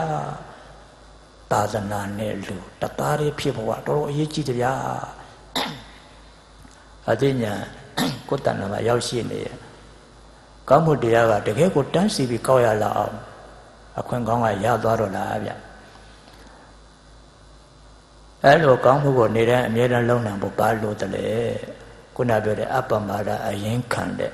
ဓမ္မဆောင်အလိုပါတယ်ဒါကြောင့်တတိတတ္တမြတ်ပညာမြဲစွာရှိရမည်တတိအမြဲရှိရမယ်တရားတရားတတိကောင်းရင်တရားတရားပေါ်လာပြီသားတတိကောင်းရင်ပညာကလည်းပေါ်လာပြီသားတတိတတ္တမြတ်ပညာမြဲစွာရှိရမည်တောင်းပါယရဏလေးဖြာပုံညတွေ့ကြုံကကိစ္စအလုံးပြီးနိုင်သည် ယရဏသုံးပါးနဲ့အမြဲတွေ့နေတဲ့လူတွေဒါနသီလသမာဓိဝိပဿနာကုသိုလ်လေးမျိုးနေ့စဉ်နဲ့အမြလုပ်နေတဲ့ပုဂ္ဂိုလ်တွေကိစ္စအလုံးပြီးနိုင်တယ်ဓမ္မဒီလောကကိစ္စကိုအနှောင့်အယှက်မပေးပါဓမ္မအလိုလိုရတယ်ငါတို့စီးပွားရေးတွေနောက်များကြမလားမကြဘူးမကြဘူးစိတ်သာချရှေ့ရောက်သွားမှာဗျဓမ္မကလူကိုဆုပ်ယုပ်အောင်ဘာတစ်ခုမှမလုပ်ပါဘူးဗျအများရန်တိုးတက်အောင်ကြည်ပွားအောင်အဆင်မြင့်အောင်ကြီးပဲ စွမ်းဆောင်ပေးပါတယ်ဗျသုံးပါးယရဏလေးဖြာပုံညတွေ့ကြုံကကိစ္စအလုံးပြီးနိုင်သည်ကုသိုလ်ကုသိုလ်ဆိုတာဗျာကုသလဆိုပါဠိစကားကိုပါဠိဆက်နွယ်ပါဠိနဲ့ဆက်နွယ်ပြီးတော့ကုသိုလ်လို့ခေါ်တာပါသူမှအမှတ်ကလေးနှစ်မှတ်ပါတယ်နော်စိုးစိုးကပြောတဲ့အတိုင်းအပြည့်မရှိဘူးကောင်းကျိုးကိုပေးတယ် တခါတွေးလို့ရှိရင်မမေ့နာလောက်မြင်သာထင်သာတဲ့အမှတ်ကလေးနှစ်မှတ်ပါတယ်ဗျအပြည့်မရှိဘူးကောင်းကျိုးကိုပဲပေးတယ်အစိုးကင်းတယ်အကောင်းပြေဆုံးတယ်ကုသိုလ်ပန်းရှင်ကိုအစိုးကင်းအောင်အကောင်းပြေဆုံးအောင်ဆွမ်းဆောင်ပေးနိုင်တယ်အမှတ်ကလေးနှစ်မှတ်ပါတဲ့တရားကိုကုသိုလ်လို့ခေါ်တယ်စိတ်ကောင်းမှရတဲ့ကြောင့်ကောင်းမှုလို့လည်းခေါ်ပါတယ်အထူးအဖြင့်အစိုးကင်းတယ်အကောင်းပြည့်စုံတယ် အစိုးနိုင်တယ်အကောင်းပိုင်တယ်ကုသိုလ်ပိုင်ရှင်ကိုအစိုးကင်းအောင်အကောင်းပြည့်စုံအောင်အစိုးနိုင်အောင်အကောင်းပိုင်အောင်စမ်းဆောင်ပေးနိုင်တယ်ဒါကြောင့်တကူလို့လည်းခေါ်တယ်အရှင်ဩဝါလို့လည်းခေါ်တယ်စွမ်းအားလို့လည်းခေါ်ပါတယ်ဒါကြောင့်မြန်မာလိုရှင်းရှင်းလေးကကုသိုလ်လုပ်ပါဆိုတာလူဟာလူတကိုးနဲ့နေစမ်းပါဗျပိုက်ဆံရှာရှာပြီးပိုက်ဆံအောက်ခေါင်းကမဝင်စမ်းပါနဲ့ဗျ ပိုက်ဆံပေါ်ကခန့်ခန့်ညာညာကြီးဒါနတိလဘာဝနာပုံစံမျိုးနဲ့တကိုးနဲ့နေစမ်းပါခင်ဗျပစ္စည်းတွေရှာရှာပြီးပစ္စည်းအောက်ခေါင်းကမဝင်စမ်းပါနဲ့ဗျပစ္စည်းအပေါ်ကခန့်ခန့်ညာညာကြီးဒါနတိလဘာဝနာပုံစံမျိုးနဲ့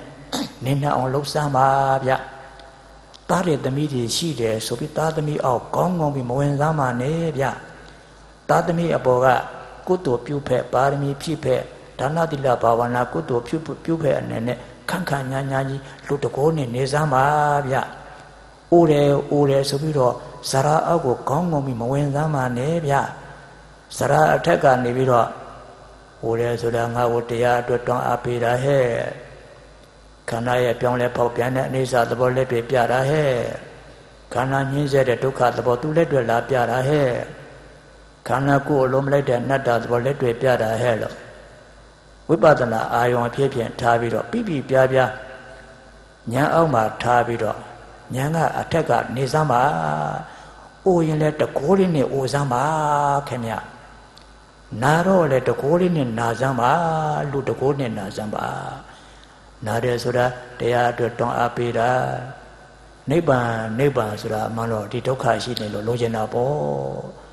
ဒီလိုဒုက္ခမျိုးကင်းလွတ်တဲ့နိဗ္ဗာန်လိုချင်တာပေါ့ပြီးတော့လေ ခန္ဓာရဲ့အိစ္ဆဒုက္ခအနတ္တသဘောလက်တွေ့ကြကြပြတယ်အဲ့လိုပြပြပြပြလေးညာအောက်ကထားပြီးတော့လူတကိုးလေးနဲ့နာစမ်းပါဗျနာရတော့တခုတော့ရှိတယ်ပေါ့လေနာယောဂကအမတန်ပြင်းထန်လို့တတိလွတ်သွားလောက်အောင်မေမျောသွားလောက်အောင်နှိမ့်ဆက်လို့တတိလွတ်သွားရင်တော့လည်းပဲတန်းနိုင်မလဲဗျာတတိလွတ်သွားရင်တော့တရားနဲ့ဆက်သွယ်ရေးပြတ်ပြီဟောဗျတတိလွတ်ရင်အသီးကသေတော့တာပါဗျ တတိရှိနေသေးရင်တော့ရတယ်ဗျဆောင်းအားကိုရအောင်ထုံနိုင်တယ်ဗျဒါကြောင့်ဦးတော့လေလူတကိုးနဲ့ဦးစမ်းပါဗျနာတော့လေလူတကိုးနဲ့နာစမ်းပါလူအရှင်အဝါလေးနဲ့နေစမ်းပါဗျလူဆောင်အားလေးနဲ့နေစမ်းပါအဲ့ဒါကုသိုလ်လုပ်ပါလို့ပြောတာဗျမြန်မာလူရှင်းရှင်းလေးနားလည်လိုက်တော့မှဩကုသိုလ်လုပ်တာဒါခေါ်တာကိုလို့သဘောပေါက်သွားမှာပါ ဒါကြောင့်ကုသိုလ်လုပ်ပါဆိုတာလူဆိုတာလူတကိုးနဲ့နေစမ်းပါလူအရှင်အဝါနဲ့နေစမ်းပါလူဆောင်အားနဲ့နေစမ်းပါအရှိအောက်ကိုကောင်းကောင်းပြီးမဝင်စမ်းပါနဲ့အရှိအဘောကအတိနဲ့ခန့်ခန့်ညာညာကြီးကုသိုလ်ကိုရအောင်ယူမဲ့ပုံစံမျိုးနဲ့တာနေစမ်းပါအဲ့ဒါကိုပဲကုသိုလ်လုပ်ပါလို့ပြောလာပါဗျ အဲအောင်သုံးပါးယရဏလေးဖြာပုံညာတွေ့ကြုံကကိစ္စအလုံးပြီးနိုင်သည်အဆိုးကိုနိုင်အကောင်းပိုင်ကြန့်ခိုင်အေးချမ်းသည်ကုသိုလ်ဆိုတာအဆိုးနိုင်တယ်အကောင်းပိုင်တယ်ကုသိုလ်ပိုင်ရှင်ကိုအစိုးနိုင်အောင်အကောင်းပိုင်အောင်ဆက်ဆောင်ပေးနိုင်တယ်အစိုးကင်းတယ်အကောင်းပြည့်စုံတယ်ကုသိုလ်ပိုင်ရှင်ကိုအစိုးကင်းအောင်အကောင်းပြည့်စုံအောင်ဆက်ဆောင်ပေးနိုင်ပါတယ်ဒီကကုဏလေးနဲ့ဆက်လိုက်ပေါ့ 2600သာသနာကောင်းစွာပြည်လာသည်ကုသိုလ်အစိနံပါတ်1အနှစ်ပြည့်အောင်ဖြည့်နိုင်သည်လူအနှစ်ကကုသိုလ်တစ်ခုတည်းရဲ့ကျန်လာရဧည့်သည်တွေအချင်းတိုင်းအကုန်လုံးချုပ်ပြောက်ကုန်ဆုံးပျောက်ကွယ်သွားကြမှာဗျာ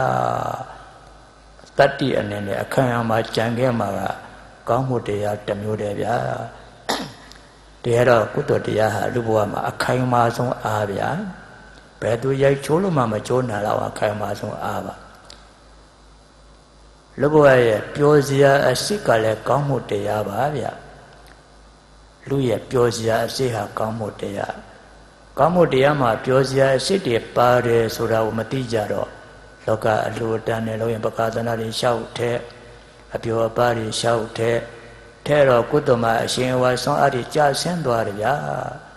ကိုကိုအာကိုရလောက်အောင်ဆွမ်းအားကအပြည့်မပါရဘူးဗျာကုတ္တမပြောစရာအပြည့်ပါတယ်တည်တဲ့ပုဂ္ဂိုလ်များကပကာသနာအယောမခံပါဘူးဗျာ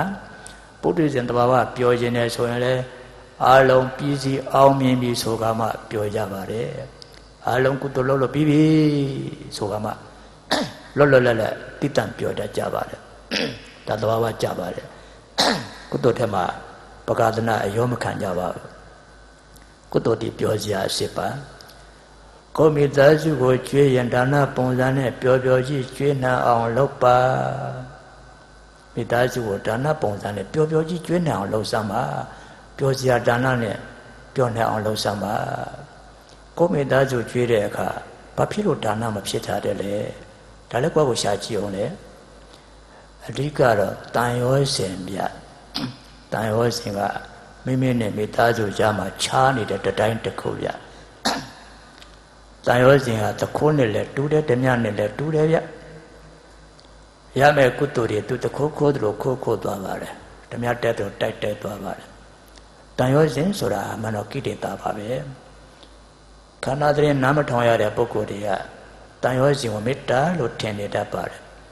တန်ရောစင်နဲ့မေတ္တာတခြားစီပါ တန်ရောစီကအမတန်ပူလောင်တဲ့တရားပါမေတ္တာကအလွန်အေးချမ်းတဲ့တရားပါအဲ့ဒီတန်ရောစဉ်ကိုခုနပြောတဲ့မမေ့ဆိုတဲ့တတိနဲ့မလျော့စစ်တဲ့ဝေရိယနှစ်ခုတွဲပြီးတော့ကန့်ခွာထင်ချုပ်ဖယ်ရှားအနံယူလို့ရတဲ့အာယုံတစ်ခုခုပေါ်မှာဆွဆိုင်ပြီးတော့ပြလိုက်တာနဲ့တတိကောင်းလာမယ်ဝေရိယကောင်းလာမယ်ဒီခါတန်ရောစဉ်လေးဟာကန့်ခွာထင်ချုပ်ဖယ်ရှားတဲ့အနံနဲ့ကင်းသွားမယ် အဲ့ဒီအခါမှာအလွန်အေးမြတဲ့မေတ္တာအစာသွင်းလို့ရတယ်မေတ္တာလည်းထဲကိုစိတ်ကလေးရောက်သွားပြီဆိုမရနိုင်တဲ့ကုသိုလ်မရှိတော့ပါဘူးမေတ္တာဒီဒါနကိုလေးနဲ့စေတယ်တိလကိုခိုင်မာစေတယ်တမာရီကိုဖွင့်ဖြိုးစေတယ်ဝိပဿနာဉာဏ်ကိုပွင့်လင်းစေတယ်စောင့်အားရရအောင်အကုန်လုံးစမ်းဆောင်ပေးနိုင်ပါတယ်တာယောစဉ်လေးကိုတတိနဲ့ဝရိယနဲ့တွဲပြီးတော့ကန့်ပေးတော့ခွာပေးပါဖယ်ပေးပါ ရပါတယ်ဗျတတိကမင်းလည်းဟုတ်တယ်ဘယင်လည်းဟုတ်တယ်လူကြီးလည်းဟုတ်တယ်လေလူကြီးဖြစ်အောင်တတိယလူကြီးစိတ်ဖြစ်အောင်တတိယဆန်းဆောင်ပေးတာပါကိလေသာဘလို့ဆိုးတယ်ပြောပြောကလေးတွေပါဗျဒါကြောင့်ကုသိုလ်ဖြစ်အောင်မိသားစုကျွေးတော်မယ်ဆိုရင်ဟဲဟဲကိလေသာကလေးတွေဘေးပဲဘေးပဲနေရာထားနေရာထားဟောမှာဒါနလူကြီးလာနေတယ်ထားပေးပါထားပေးပါဟဲကိလေသာကလေးတွေ ဟောမှာသီလလူကြီးလာနေတယ်နော်တမာတိလူကြီးလာနေတယ်ဝိပဿနာလူကြီးလာနေတယ်နော်ဘေးထွက်ဘေးဘေးဖက်ဘေးဖယ်ပေးပါတယ်ဗျတတိကိုကိရိတာသိကြောက်တာဗျာတတိကိုဘသုံးရလို့ပါဗျတတိဆိုတဲ့တရားအရာမှာအကြီးဆုံးဖြစ်တဲ့တရားသာသနာမှာနံပါတ်1ဆိုတဲ့တရားကဟောဒီတတိပါအဲ့ဒီတတိကိုတန်ရောစဉ်တို့ကိရိတာတို့ကအာသိကြောက်တာသိကြောက်တာဗျာ ဟဲ့ဖဲပေးဖဲပေးကလေးတွေဖဲပေးနေရာထားပေးဟိုမှာကုတုလူကြီးလာနေတယ်ထားပေးထားပေးတယ်ထားပေးတယ်ဒါကြောင့်သာသမီများကျွေးခြင်းကုသိုလ်ရအောင်ကျွေးတော်မယ်ဆိုရင်တန်ရောစဉ်ကိလေသာကလေးတွေပေးဖယ်ခိုင်းမှာတတိနဲ့ဖယ်ခိုင်းရင်ဖယ်ပေးပါတယ်ဗျအဲ့ဒီကအလွန်အေးမြတဲ့မေတ္တာလေးအစားသွင်းပြလိုက်ပျော်စရာကောင်းလောက်အောင်ဒါနပုံစံနဲ့ကျွေးနံတော်မှာဗျတိလသမารိဝိပဿနာပေါ်အောင်ကျွေးနံတော်မှာဗျ နောက်တစ်ခုတတိပြုစရာရှိသေးတယ်ဗျကိုမိသားစုကျွေးတဲ့နေရာမှာမိမိတို့ဟာဗုဒ္ဓဘာသာဝင်တွေဖြစ်နေခြင်းကြောင့်သရဏခုံကိုလက်ခံရပါတယ်သာသမီများပြေတော့မယ်ဆိုရင်တရဏဂုံစောက်တည်ခံရပါတယ်တရဏဂုံစောက်တည်ခံလို့သူတို့တရားပညာနဲ့တရဏဂုံကိုစောက်တည်ကြမယ်ဆိုရင်သူတို့ကိုသာမန်မမှတ်နဲ့သောတပန်ဖြစ်အောင်အားထုတ်တဲ့အဆင့်မြင့် အလှူခံထဲမှာပါသွားပြီတဲ့သူတို့ကိုစေရနာသုံးဏထက်တံပြတ်ထမ်းပြီးပေးမယ်ဆိုရင်အစအသင်ချေအကျိုးပေးတဲ့ဒါနစတဲ့ကောင်းမှုတွေရတော့တာအစတသိန်းလည်းမကအစတသန်းလည်းမကအစတကလေးလည်းမကပါလားကိုမိသားစုတော့ယရဏသုံးပါးကုန်အာယုံပြုတ်နှံအောင်တရားပညာနဲ့အာယုံပြုတ်နှံအောင် ပြောပြီးတော့မှတာရဏဂုံလေးများတီအောင်စောက်တည်ခိုင်းနိုင်ရဲ့သူတို့နေစဉ်ပေးရတာဘယ်တော့မှအမျက်တွေရမလဲဒါကြောင့်သာသမီကြွေတာကလည်းကြွေတာဖို့လုံးမပြခုနပြောတဲ့သာဟဇာတဖြစ်ဖို့ကအတော်အရေးကြီးတာဟုတ်ဗျဒါကြောင့်ကိုမိသားစုကြွရင်အဲ့ဒီနှစ်ချက်တတိပြုဖို့လိုမယ်ဗျတန်ရောစဉ်ကိုတတိဝရိယနဲ့ကန့်ခွာထင်ချုပ်ဖယ်ရှားအင်မတန်အေးမြတဲ့မေတ္တာအစာသွင်းဒါကတစ်ချက် ဗုဒ္ဓဘာသာဝင်တွေဖြစ်နေခြင်းကြောင့်တရဏဂုံလက်ခံတယ်လက်ခံနာအောင်ကိုယ်လည်းပြောပြတရဏဂုံစောက်တီခိုင်းလာလာလာတားလေးတို့လာအောင်တမီးတို့တို့လာအောင်တရဏဂုံစောက်တီအောင်နော်သူ့ပဲကြက်စရာလည်းမလိုတော့ပါဘူးကွယ်နာရဲ့နှုတ်ကြောနေပြီသားညံဖွံ့ဖြိုးတယ်ကွယ်ညံကောင်းတယ်ကွယ်စကြက်လို့ကောင်းတယ်ကွယ်နော်ဘေးရလုံးချုံတယ်ကွယ်စိတ်ဓာတ်တွေတိတ်ဖွံ့ဖြိုးတယ်နော်ပြီးတော့လေတားလေးတို့တမီးလေးတို့ကတရဏဂုံတီးသွားရင်ဖေတို့အမေတို့မှ ပေးရတာတပန်းတာသွားပြီးမျက်နှာပန်းပွင့်သွားတယ်ကွယ်အရှင်းမြင့်တဲ့အလူကံပုဂ္ဂိုလ်တွေလှူနေရတာဖြစ်တဲ့ကြောင့်အစာအပင်ချေရီလို့မရအောင်ချိုးပေးတဲ့ကိုယ်တို့တွေအများကြီးရတယ်အဖေတို့အမေတို့ကိုကတရဏဂုံလေးနဲ့ကျေးဇူးဆက်ကြကြမှာနော်တားတို့တမီးတို့အဲ့ဒါသာသမီပေးတဲ့အခါပန်းနဲ့ဖို့လိုမယ်ဗျာဒါကြောင့်သာသနာ2600ပူဇော်ပွဲမှာကိုယ်အိမ်ထဲထိအောင်သာသနာရောက်အောင်ပေါ့ဗျာ သာသနာအချုပ်ဖြစ်တဲ့အပမာဒာလေးရှိရထားပြီးတော့နေစဉ်နေစဉ်ဘဝအနှစ်တထုံနေအောင်ကြိုးစားကြရမယ်ဗျာဒါကြောင့်2600သာသနာကောင်းစွာပြည်လာသည်ကုသိုလ်အစီနံပါတ်1အနှစ်ပြည့်အောင်ဖြည့်နိုင်သည်တို့စောစောကမတိကွာဒါနုတာတိခဲ့ရင်ကိုသားကိုသမီးကျွေးကြတာလောက်ဆုံးကုသိုလ်တွေအများကြီးရပြီပေါ့ အတိနောက်ကြတာမကြပါဘူးရပါသေးတယ်အခုကစတိလည်းလုပ်လို့ရပါသေးတယ်ဒါလေးလည်းလိုက်ဆိုကြမယ်မြမမြေမလူများစွာကောင်းတာအမြဲတွေ့နိုင်သည်သုံးပါးမြတ်စွာယရဏချိန်ခါမရွေးတွေ့နိုင်သည်ကုသိုလ်အစု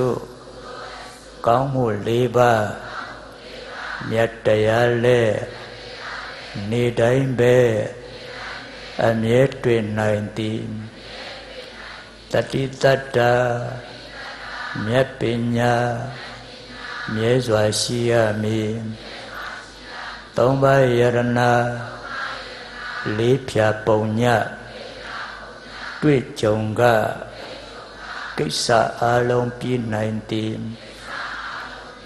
အဆိုးကိုနိုင်အကောင်းပိုင်ကြံ့ခိုင်အေးမြသည်2600သာသနာကောင်းစွာရောက်လာသည်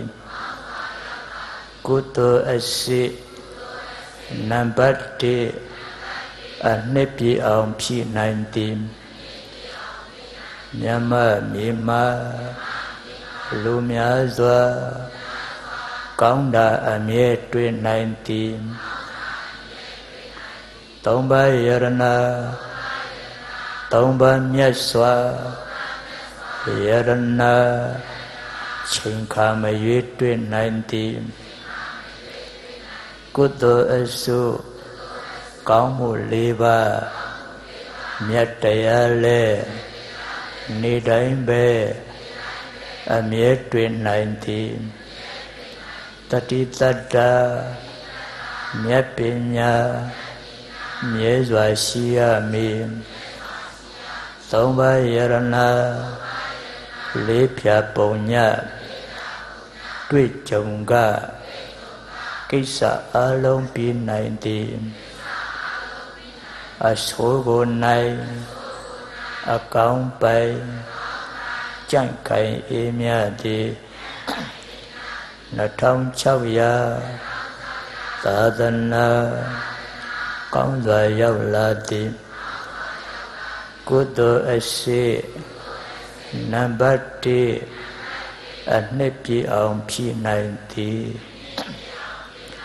ဒါကြောင့်မလို့အနှစ်တည်းပြည့်အောင်ဖြည့်ပြီးတော့ဘဝအနှစ်တည်းတိုးအောင်လုပ်ပေးကြရမယ်ဗျာဖြည့်တော့ ကိုဟာကိုလည်းဖြည့်ပါသူကိုလည်းကြည်ပါဆိုတဲ့အလန်းစဉ်ကကိုဟာကိုဖြည့်ဆိုတာကြတတိနဲ့သီလသမာဓိပညာအကောင်တရားတွေပြည့်အောင်နေစဉ်ဖြည့်ပေးပါသူကိုလည်းကြည်ဆိုတာမေတ္တာလွှမ်းခြုံပြီးတော့သူ့အတွက်လည်းအကောင်ရအောင်လုပ်ပေးပါမေတ္တာလမ်းစဉ်ကြတော့ကိုဖြစ်ချင်တာကြီးတခုတည်းကိုမကြည့်ပါနဲ့သူဖြစ်တဲ့တာကိုလည်းညံ့ညံ့တာတာကြည့်ပေးပါပေါ့ဗျာတေပဲ ကကိုဖြစ်ချင်ညာကြီးကိုဖြစ်ချင်တာတခုတည်းကြီးလည်းမကြည့်ပါနဲ့သူဖြစ်တဲ့နာလေးတွေကိုလည်းဖြစ်အောင်ကိုချင်းစာပြီးတော့ကိုနဲ့ထပ်တူထားပြီးတော့ဖြစ်တဲ့နာဖြစ်အောင်ဆောင်ရွက်ပေးပါကိုကိုကိုလည်းဖြီးပါသူ့ကိုလည်းကြည်ပေးပါသူ့ကိုကြည်ချင်းတည်ပင်လည်းကိုယ့်အတွက်ဇာအားကောင်းနေယူနေခြင်းဖြစ်ပါတယ်ကိုကိုကိုဖြီးလိုက်ခြင်းတည်ပင်လည်းသူ့အတွက်ပါဇာအားရရှိအောင် မြင့်တင်ပေးခြင်းဖြစ်ပါတယ်အပြန်ပြန်အလားလားခြေစိုးပြုပါတယ်မေတ္တာလွှမ်းခြုံပေးတဲ့အခါကျတော့မေတ္တာလွှမ်းခြုံရေးမေတ္တာ၅မျိုးအတူနေလက်လူနေနတ်ဟူအုပ်ချုပ်သူပါမြို့ရွာလူဆုံးအလုံးကုန်လွှမ်းခြုံမေတ္တာပို့လွှဲရာတဲ့အတူနေလူတွေအတူနေမိသားစုတွေကြောင်းဆိုတဲ့တချောင်းတဲ့အတူနေသူတွေယုံဆိုတဲ့တယုံတဲ့အတူနေသူတွေ အယုစွာဆုံး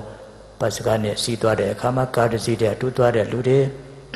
ရင်တစီးတဲ့အတူသွားတဲ့လူတွေစသည်ဖြင့်လှုပ်ဖို့ကံဖဲအားလုံးကိုဘေးရန်ကင်းလို့အကျမ်းမှချမ်းသာကြပါစေလို့မေတ္တာနဲ့လွှမ်းခြုံပေးပါဘေးရန်ကင်းကြပါစေဆိုတာအဝေလာဟွန်တို့ပါပဲချမ်းသာကြပါစေဆိုတာကတော့အပြပိဇာဝန်တို့ဆိုစိတ်ဆင်းရဲကင်းကြပါစေ အာနိကဝန်တို့ဆိုကိုယ်ဆင်းရဲကင်းကြပါစေဒုက္ခိအတ္တနာပရိဟရန္တုဆိုတဲ့ချမ်းချမ်းသာသာကိုယ်ခန္ဓာကိုကိစ္စပြင်းမြောက်ပန်းတန်ရအောင်ရွတ်ဆောင်နိုင်ကြပါစေတဲ့စကားသုံးခွန်းကိုပေါင်းပြီးတော့မှဆင်းရဲကင်းပါစေဆွမ်းချမ်းသာပါစေနဲ့တိဘကတထထက်ဖြစ်သွားလို့ဘေးရန်ကင်းလို့ချမ်းသာကြပါစေကိုချမ်းသာတော့ကိုကျမ်းပါတယ်သုံးတော့ဘေးရန်ကင်းလို့ကျမ်းမာချမ်းသာကြပါစေခွဲ့လိုက်ရတယ် ကျမ်းမာတာကိုလည်းချမ်းသာတဲ့ထက်ပေါင်းပြီးတော့ဘေးရန်ကင်းလို့ချမ်းသာကြပါစေအဲ့ဒါပေါ့ပြီးတော့ဘဝမှာကုသိုလ်တည်အဖို့အတန်ဆုံးဖြစ်တဲ့ကြောင့်မေတ္တာပို့ရင်ကုသိုလ်လေးပါထည့်ပို့ရင်တော့ပိုကောင်းတာပေါ့ကျမ်းမာချမ်းသာကြပါစေဘယ်တော့ကျမ်းမာရမှာတော့ကုသိုလ်လုံနိုင်လောက်အောင်ကျမ်းမာကြပါစေကျမ်းမာရေးကိုဇရာကစားမပြစ်ပါစေနဲ့ကျမ်းမာတာကိုဖြာတိကစားမပြစ်ပါစေနဲ့ သူတို့ကစားပြစ်စားပြစ်တာမခံရသေးမီကုသိုလ်ကိုလည်းဥအောင်လုံနိုင်ကြပါစေအဲ့လိုကုသိုလ်လေးပါတွဲပြီးတော့မေတ္တာပို့ပေးမေတ္တာအရှင်ဟောပို့ကြည့်ပါတယ်ကျမ်းမာကြပါစေကုသိုလ်လုံနာလောက်အောင်ကျမ်းမာကြပါစေချမ်းသာကြပါစေကုသိုလ်လုံနာလောက်အောင်ချမ်းသာကြပါစေကုသိုလ်တွေလှုပ်လှုပ်ပြီးတော့ကုသိုလ်ရဲ့ကောင်းကျိုးကိုပြည့်စုံပါမှာပဲဆက်ကဆက်ကရရှိကြပါစေ။နောင်ရဲ့အတွက်လဲ စတဲ့တဘောတိုးတိုးပြီးတော့ရကြပါစေ။အဲလိုမေတ္တာတွေလည်းလွန်ချောင်းပေးရ။ပြီးတော့ခုနအဆုကင်းကြပါစေအကောင်းပြေဆောင်ကြပါစေမေတ္တာဖို့ဒီနှခွန်းနဲ့ပေါင်းဖို့လည်းရတာပဲဗျ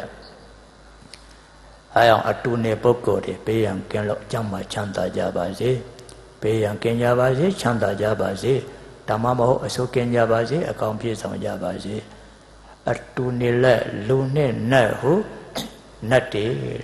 ပဝန်းကျင်မှာရှိတဲ့နတ်တွေစတုမာရဲ့အောက်ပိုင်းနတ်တွေပါအထက်ပိုင်းနတ်တော့မဟုတ်ပါဘူးသူတို့ကလည်းမေတ္တာမပို့ရင်လူတွေကိုကတိကအောင်ဖြစ်အောင်တိတ်လောက်ကျင်တာဗျနတ်ကလည်းမေတ္တာနဲ့ဖိထားမှတောကကြတာဗျသူတို့လည်းမေတ္တာနဲ့လွှမ်းခြုံပေးပါတို့ဝမ်းကျင်မှရှိတဲ့နတ်တွေဘေးရန်ကင်းလို့ကြမ်းမှချမ်းသာကြပါစေမေတ္တာလည်းလွှမ်းခြုံပေးပါအတူနေလက်လူနေနတ်ဟုအုပ်ချုပ်သူပါအော်အုပ်ချုပ်ရေးတာဝန်ကနေပေါ့ ရက်ွက်ထဲမှာမြို့ထဲမှာခရိုင်တိုင်းနိုင်ငံနိုင်ငံတော်အစိုးရအထိတောက်လျှောက်ပေါ့ဗျာအုပ်ချုပ်ရေးတာဝန်ကပုဂ္ဂိုလ်တွေမိဘအရာမှာထားပြီးတော့ဩသူတို့လုံခြုံအောင်စောင့်ရှောက်ကြပြီးတော့တို့များလွတ်လွတ်လပ်လပ်ပြီးရန်လုံးလုံးချုံချုံနဲ့ကိုယ်အလုပ်ကိုလုပ်နိုင်ကြတယ်ဟဲ့လောကကိစ္စဓမ္မကိစ္စမလည်းဟဲအောင်ဆောင်ရွက်နိုင်ကြတယ်မိဘအရာမတည်နေကြတဲ့ အုပ်ချုပ်ရေးတာဝန်ခံပုဂ္ဂိုလ်တွေအလုံးပေးရန်ကင်းလို့ကြမ်းမှချမ်းသာကြပါစေခုနပြောတဲ့အတိုင်းကြမ်းမှကြပါစေကုသိုလ်လုံးနာလောက်အောင်ကြမ်းမှကြပါစေချမ်းသာကြပါစေကုသိုလ်တွေအားထုတ်နာလောက်အောင်လည်းချမ်းသာကြပါစေကုသိုလ်တွေလောက်လောက်ပြီးတော့ကုသိုလ်ရဲ့ကောင်းကျိုးတွေကိုဆက်ကဆက်ကရရှိကြပါစေအစိုးတွေကင်းကြပါစေကောင်းနေပြည့်စုံကြပါစေပေါ့မြို့ရွာလူစုံဟောတလန်းတဲ့တူနေတဲ့လူတွေ တရွာတဲ့တူနေတဲ့လူတွေရက်ွက်တကွက်ထက်တူနေတဲ့လူတွေတမျိုးတဲ့တူနေတဲ့လူတွေအတူနေကြတော့ဆွေမျိုးတွေပေါ့ဗျာဆွေစိတ်မျိုးစိတ်ထားပြီးတော့အေးအကင်းလို့ကြမှာချမ်းသာကြပါစေမေတ္တာတဲ့လွန်ချုံပေးပါအလုံးကုန်တတ္တဝါအလုံးချုံပြီးတော့မှမေတ္တာတဲ့လွန်ချုံပေးပါတန်တရားကတန်တရားကရှိရလှပြီဆိုတော့မိဘမတော်ဘူးသူလည်းမရှိတော့ပါဘူးအလုံးမေဟောင်းဖဟောင်းနေပါ ဆွေမျိုးမတော်ဘူးသူလည်းမရှိတော့ပါဘူးအလုံးဆွေဟောင်းမျိုးဟောင်းနေပါသားသမီးမတော်ဘူးသူလည်းမရှိတော့ပါဘူးအလုံးသားဟောင်းသမီးဟောင်းနေပါဆွေစီမျိုးစိတ်ထားပြီးတော့တတ္တဝါအလုံးတို့ကိုလည်းမေတ္တာနဲ့လွန်ကြုံပေးပါဘုရားကင်းကြပါစေချမ်းသာချမ်းသာကြပါစေ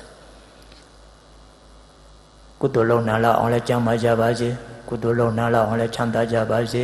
ကုသိုလ်ကောင်းကျိုးဆက်ကဆက်ကရရှိကြပါစေ အဆိုတွေကင်းကြပါစေကောင်းနေပြည့်စုံကြပါစေအဲလိုကုသိုလ်အစစ်နံပါတ်1စိတ်ကလေးတွေကိုယ်တဏ္ဍမှာဖြစ်ရင်သူ့ကိုလည်းပဲထိထိရောက်ရောက်အဆင့်မြင့်မြင့်ကိုညီရရောက်တာပေါ့ဗျာကိုယ့်အကိုကုသိုလ်လုပ်တာကကိုယ့်အကိုကဲဆယ်ရလုပ်တာပါအဆိုကင်းအောင်ကဲတင်ခြင်းအကောင်းရအောင်ဆယ်ယူခြင်းဆိုတဲ့ကဲဆယ်ရအလုပ်လုပ်တာသူများတွေကိုမေတ္တာပို့ကိုညီပေးတာကသူများတွေကိုကဲဆယ်ရလုပ်ပေးတာပါ သူများတွေကိုအဆိုကင်းအောင်ကဲတင်ပေးတယ်သူများတွေအကောင်ပြေဆုံးအောင်ဆယ်ယူပေးတယ်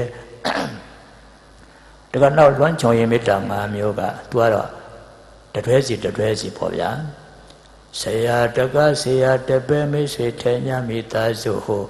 ပြည်သူစိုးရဤငါးပါးလွှမ်းရမေတ္တာခြုံတတ်ရငါတွဲပေါ့ဆရာတကသာသနာရှိနေသမျှတော့ဆရာနဲ့တကလည်းအများတန်းရှိနေမှာပဲလေ ခုလိုသာသနာနှစ်ပေါင်း2600ရောက်လာတာဆရာတကမေတ္တာနဲ့ညီညီမျှမျှ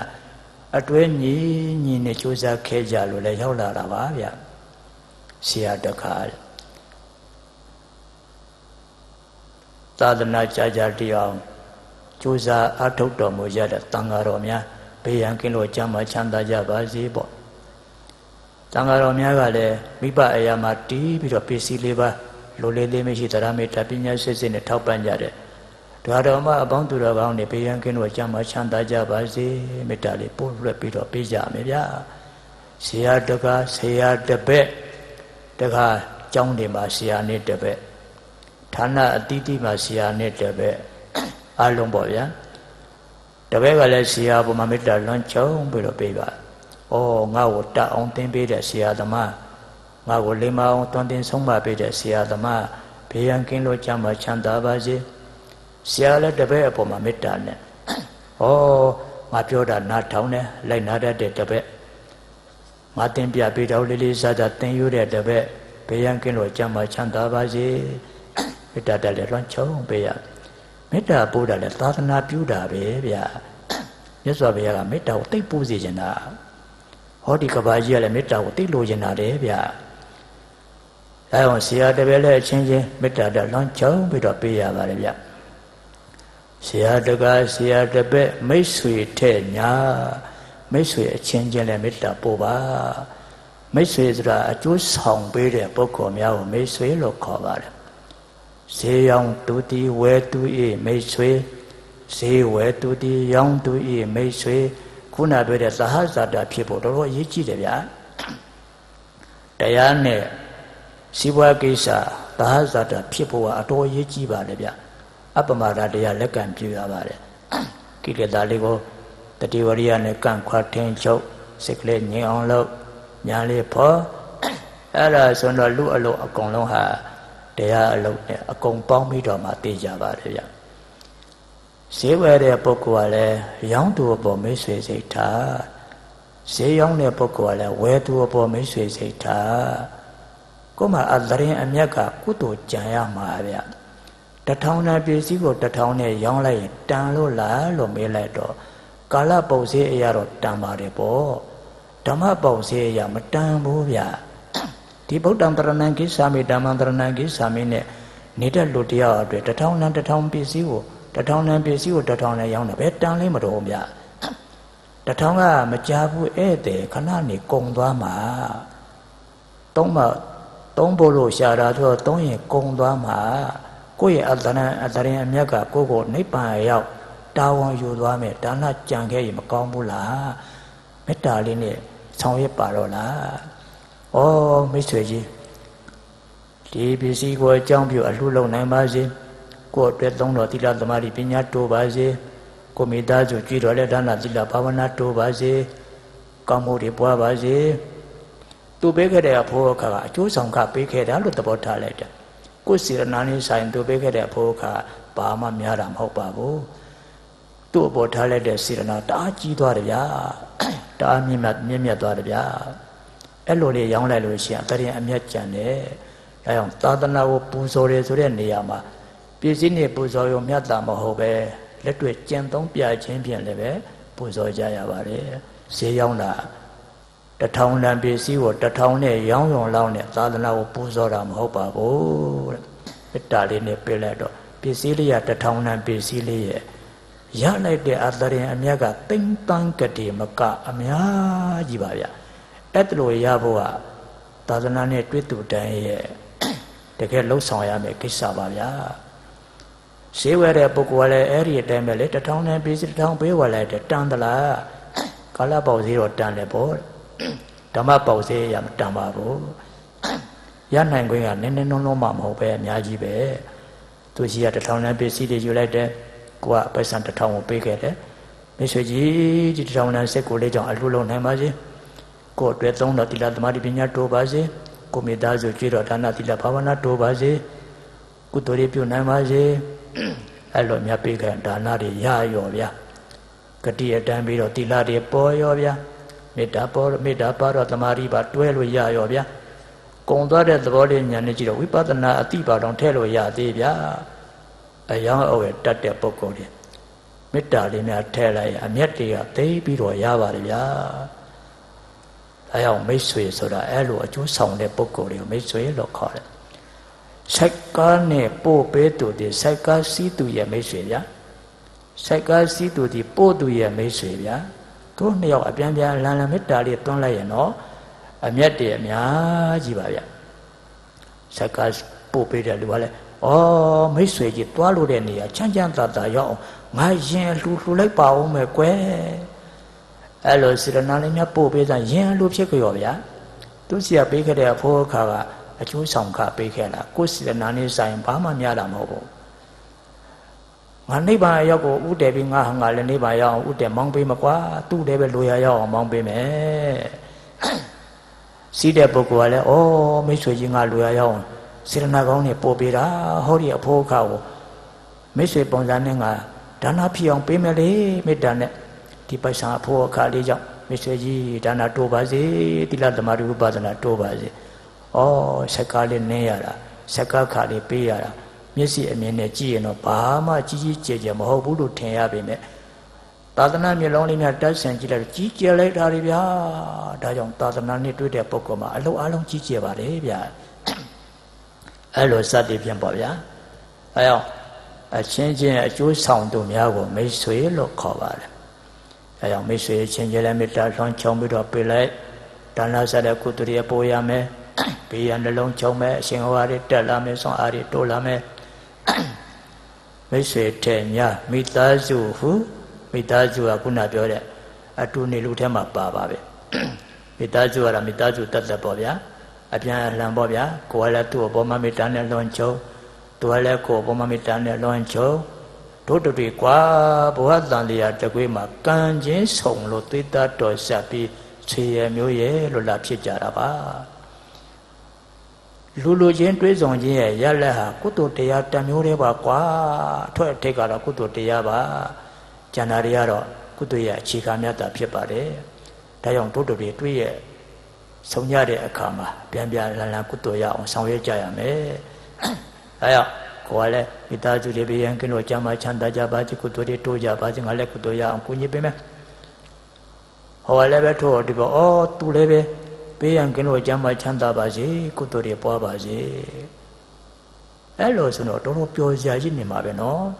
။ဆိုးတာကုဏဒုက္ခနဲ့ကိလေသာအဲ့ဒီမှာလည်းအဆိုးဆုံးကကိလေသာဗျ။ကိလေသာကိုတတိကနိုင်တယ်ဗျအေရထဘုရားရှိပြေးတာလေအဲ့ဒါပဲလေဘုရားရှိကတက်ကောင်းနေကူးယူဖို့ကိလေသာနိုင်တဲ့တတိဆွမ်းအားတွေဖော်ထုတ်ဖို့လို့ဘုရားရှိသွားပြီးတော့ဆွမ်းအားမြင့်တင်ကြတာပါ ဒါကြောင့်ဆရာတကာဆရာတပည့်မိတ်ဆွေထေညာမိသားစုဟိုပြည်သူဆိုးရဤငါးဝလွှမ်းရမေတ္တာခြုံတတ်ရတန်သူပြည်သားနဲ့အုတ်ချုပ်ရတာဝန်ကပုဂ္ဂိုလ်တွေပြန်ပြန်လာလာမေတ္တာနဲ့ဆောင်ရွက်ရပါတယ်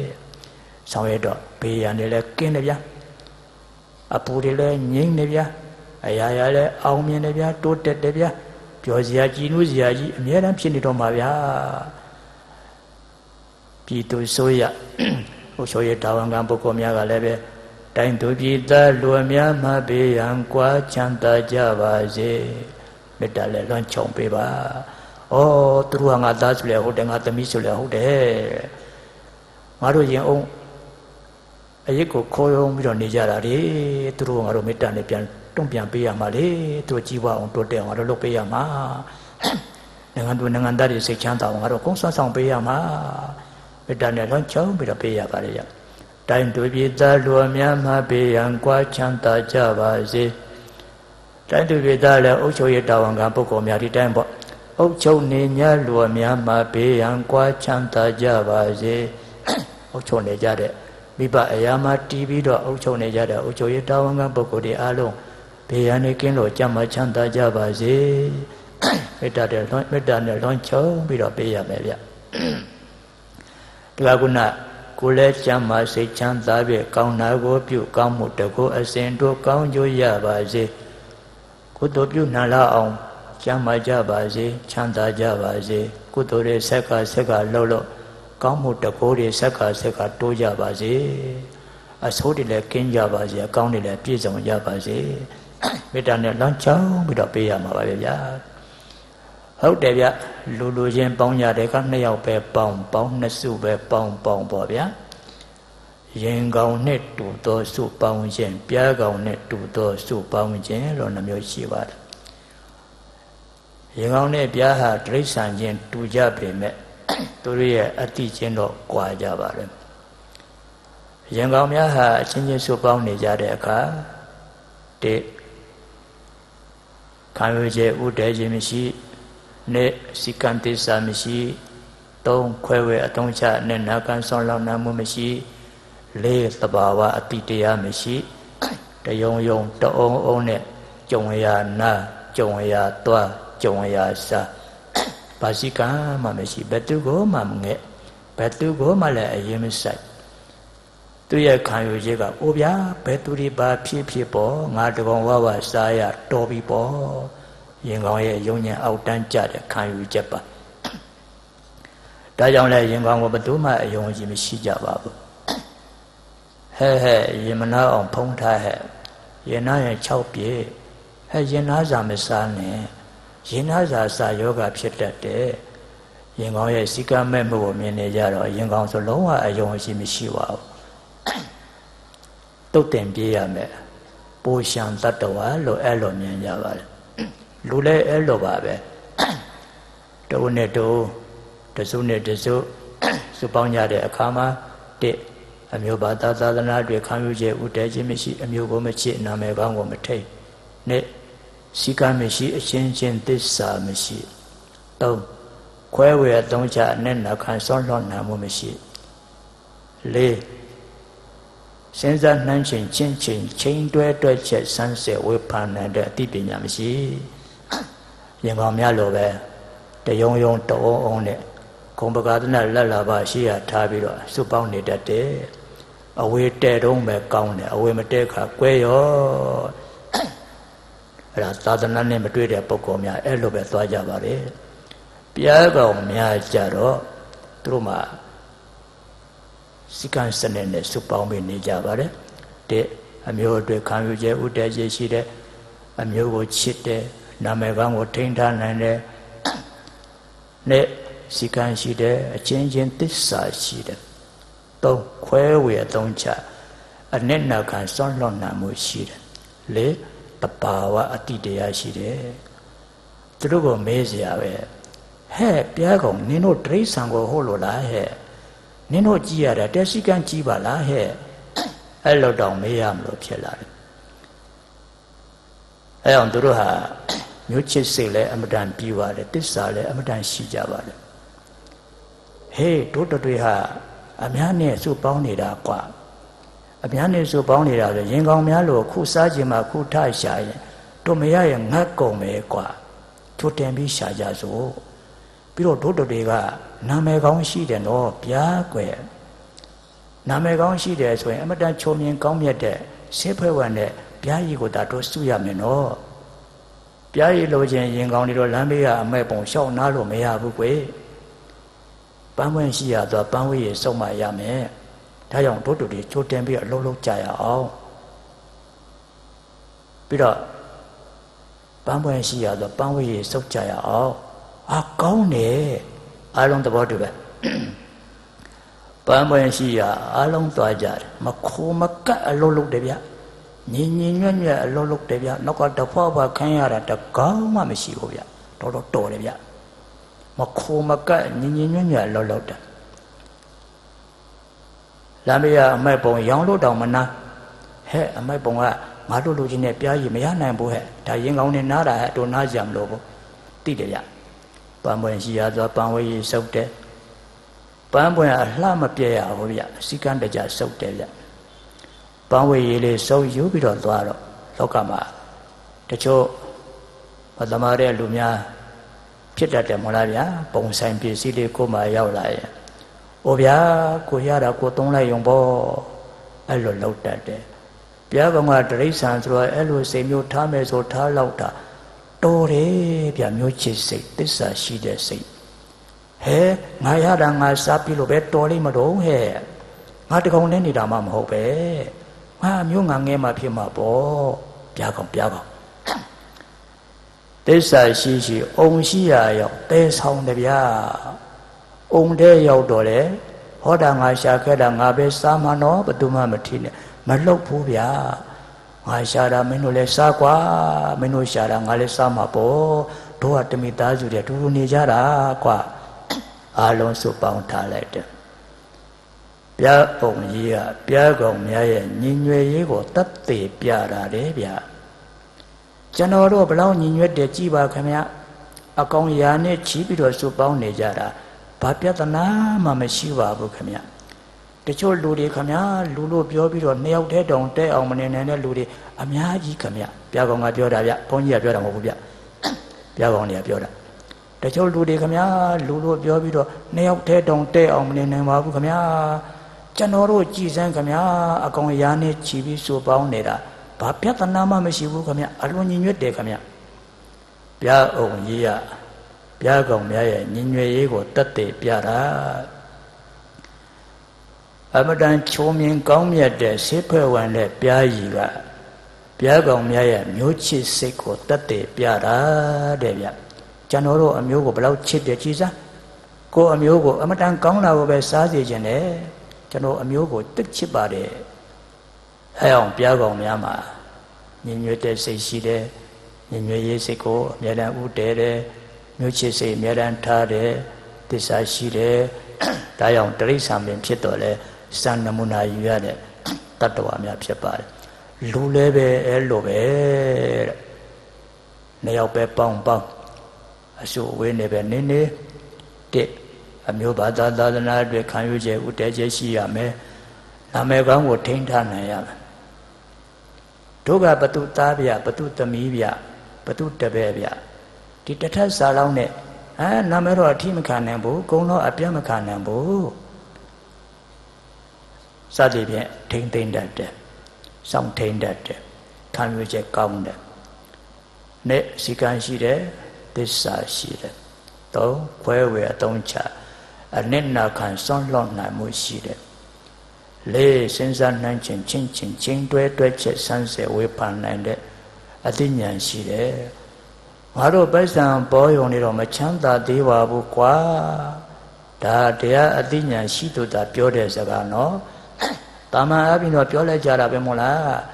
ပိုက်ဆံပေါ်ရင်ဟာဘယ်သူကတော့အရန်ချမ်းသာတာဗျာဘယ်သူကတော့ဒေါ်လာကိုတန်းချီချမ်းသာတာဗျာ ဘာပိုက်ဆံရှိချမ်းသာတယ်ပြောလိုက်တာတရားကတော့ဟာမဟုတ်ဘူးဟဲ့ပိုက်ဆံကဒုက္ခသစ္စာတွေပစ္စည်းကဒုက္ခသစ္စာတွေသူတို့အပေါ်မှာဉာဏ်နဲ့အညာရောအနာရောလွန်မောနိုင်မှချမ်းသာခွင့်ရမှာနော်ဒီတန်းတော့ချမ်းသာမှာမဟုတ်ဘူးရှိတယ်ပြောတော်ရောပေါ်ဘာလို့ချမ်းသာတယ်ပြောရမှာလဲချမ်းသာအောင်လုပ်တတ်မှာချမ်းသာမှာတရားအတိရှိတဲ့ပုဂ္ဂိုလ်ကလည်းရှင်းရှင်းလေးပဲပြောလိုက်တယ် တို့ပိုက်ဆံရှိုံနဲ့မချမ်းသာသေးပါဘူးကွာတရားပြားရည်ဖြစ်အောင်ဖန်တီးရအောင်မှာတရားပြားရည်ဖြစ်မှာပဲတို့ချမ်းသာခွင့်ရမှာပါတရားပြားရည်လိုချင်တော့လဲတို့ပန်းပွင့်ရှိရာချင်းကရမှာပန်းက၃ပွင့်လေစောစောတော့ဆိုခဲ့ပြီဗုဒ္ဓံတရဏံဂိသာမိဓမ္မံတရဏံဂိသာမိသံဃံတရဏံဂိသာမိဩလူတွေအေးရထထခြင်းယရဏသုံးပါးထံပြေးကြတာဘာမှသွားလို့ပါလေအောင်မေးတယ် ပန်းဝိကြီးသွားစုတ်တာကိုဗျာဇတ်တတော်ဓာတ်ကောင်းတယ်ကူးတာကိုပဲပြောတာပါပန်းဝိကြီးသွားစုတ်ကြတာအေးရထရင်ကိုလိုရင်းတဲ့ဆန္ဒနဲ့ယရဏသုံးပါးရဲ့ပြင်းတဲ့စမ်းဆောင်ကြီးကတထတည်းဖြစ်နေတော့ဓာတ်ကောင်းသွားကူးကြတာပါဒါကြောင့်ပန်းပွင့်ရှိရသွားပန်းဝိကြီးစုတ်မှဖြစ်မယ်ဟဲ့ပန်းသုံးပွင့်ရှိရချင်းကပ်ကြတယ်ပန်းသုံးပွင့်ကလည်း သာသနာနဲ့တွေ့တဲ့ပုဂ္ဂိုလ်မှာအချိန်မရွေးဖန်တီးလို့ရတယ်လေဗျအချိန်မရွေးဖန်တီးတဲ့အခါသရတရားလိုတယ်ဗျပညာလည်းလိုတယ်ဗျဖော်ပေးတဲ့နေရာမှာတတိလိုတယ်ဗျပညာရှိကြီးများသွန်သင်ထားတဲ့စကားလေးရှိတယ်ဘုရားကိုစေတီကွယ်တတ်တကွယ်စေတီလောက်နဲ့ဘုရားလုံးနဲ့မိတတ်တယ်စေတီကိုညာနဲ့ထိုးပေါက်တတ်တော်ထင်ရှားမြတ်စွာဘုရားအထိ ညာနဲ့အာယုံယူညာတဲ့ဘုရားပေါ်လာခါမှရှိခိုးပါပူဇော်ပါလှူဒန်းပါစိကပ်ပါကိုးကွယ်ပါဘုရားကိုစိတိကွဲနေတတ်ပါတယ်တရားကိုစာအုပ်ကွယ်တတ်တဲ့ကွယ်စာအုပ်လောင်နဲ့တရားလုံနေမိတတ်တယ်ကျင့်သုံးရမယ်တရားအထိမရောက်ပဲဖြစ်နေတတ်တယ်အဲအောင်စာအုပ်ကိုညာနေထိုးဖောက် တရားအထိညာနဲ့ရောက်အောင်အာယုံယူလက်တွေ့ကျင့်သုံးစရာကိုလက်တွေ့ကျင့်သုံးဖြစ်အောင်ကျင့်သုံးပဲဖို့နေပါဦးတဲပြီးတော့ကျင့်သုံးပါတန်ခါကိုဖုံးကြီးကွယ်တတ်တဲ့ကွယ်ကိုနဲ့ရမ်းနေတဲ့ရွှေဖုံးကြီးမျိုးဖုံးကြီးလောက်နဲ့တန်ခါလုံးနေမိတတ်တယ်တဲ့ကုသိုလ်မရဘူးတော့မဟုတ်ပါဘူးအဲ့ရနေတာပေါ့ယရနာကုသိုလ်ထိမရတာပေါ့တန်ခါကိုဖုံးကြီးကွယ်တတ်တယ် ဘုန်းကြီးကိုညာနဲ့ထိုးဖောက်အရိယာသံဃာရဲ့ဂုံအထိညာနဲ့ဘောအောင်ဖာအရိယာသံဃာဂုံပေါ်လာကမှလှူပါတန်းပါပူဇော်ပါစိကပ်ပါတန်ခန္တရဏံကိသာမိယသံဃာကအရိယာသံဃာကိုအဓိကထားပြောတာဗျ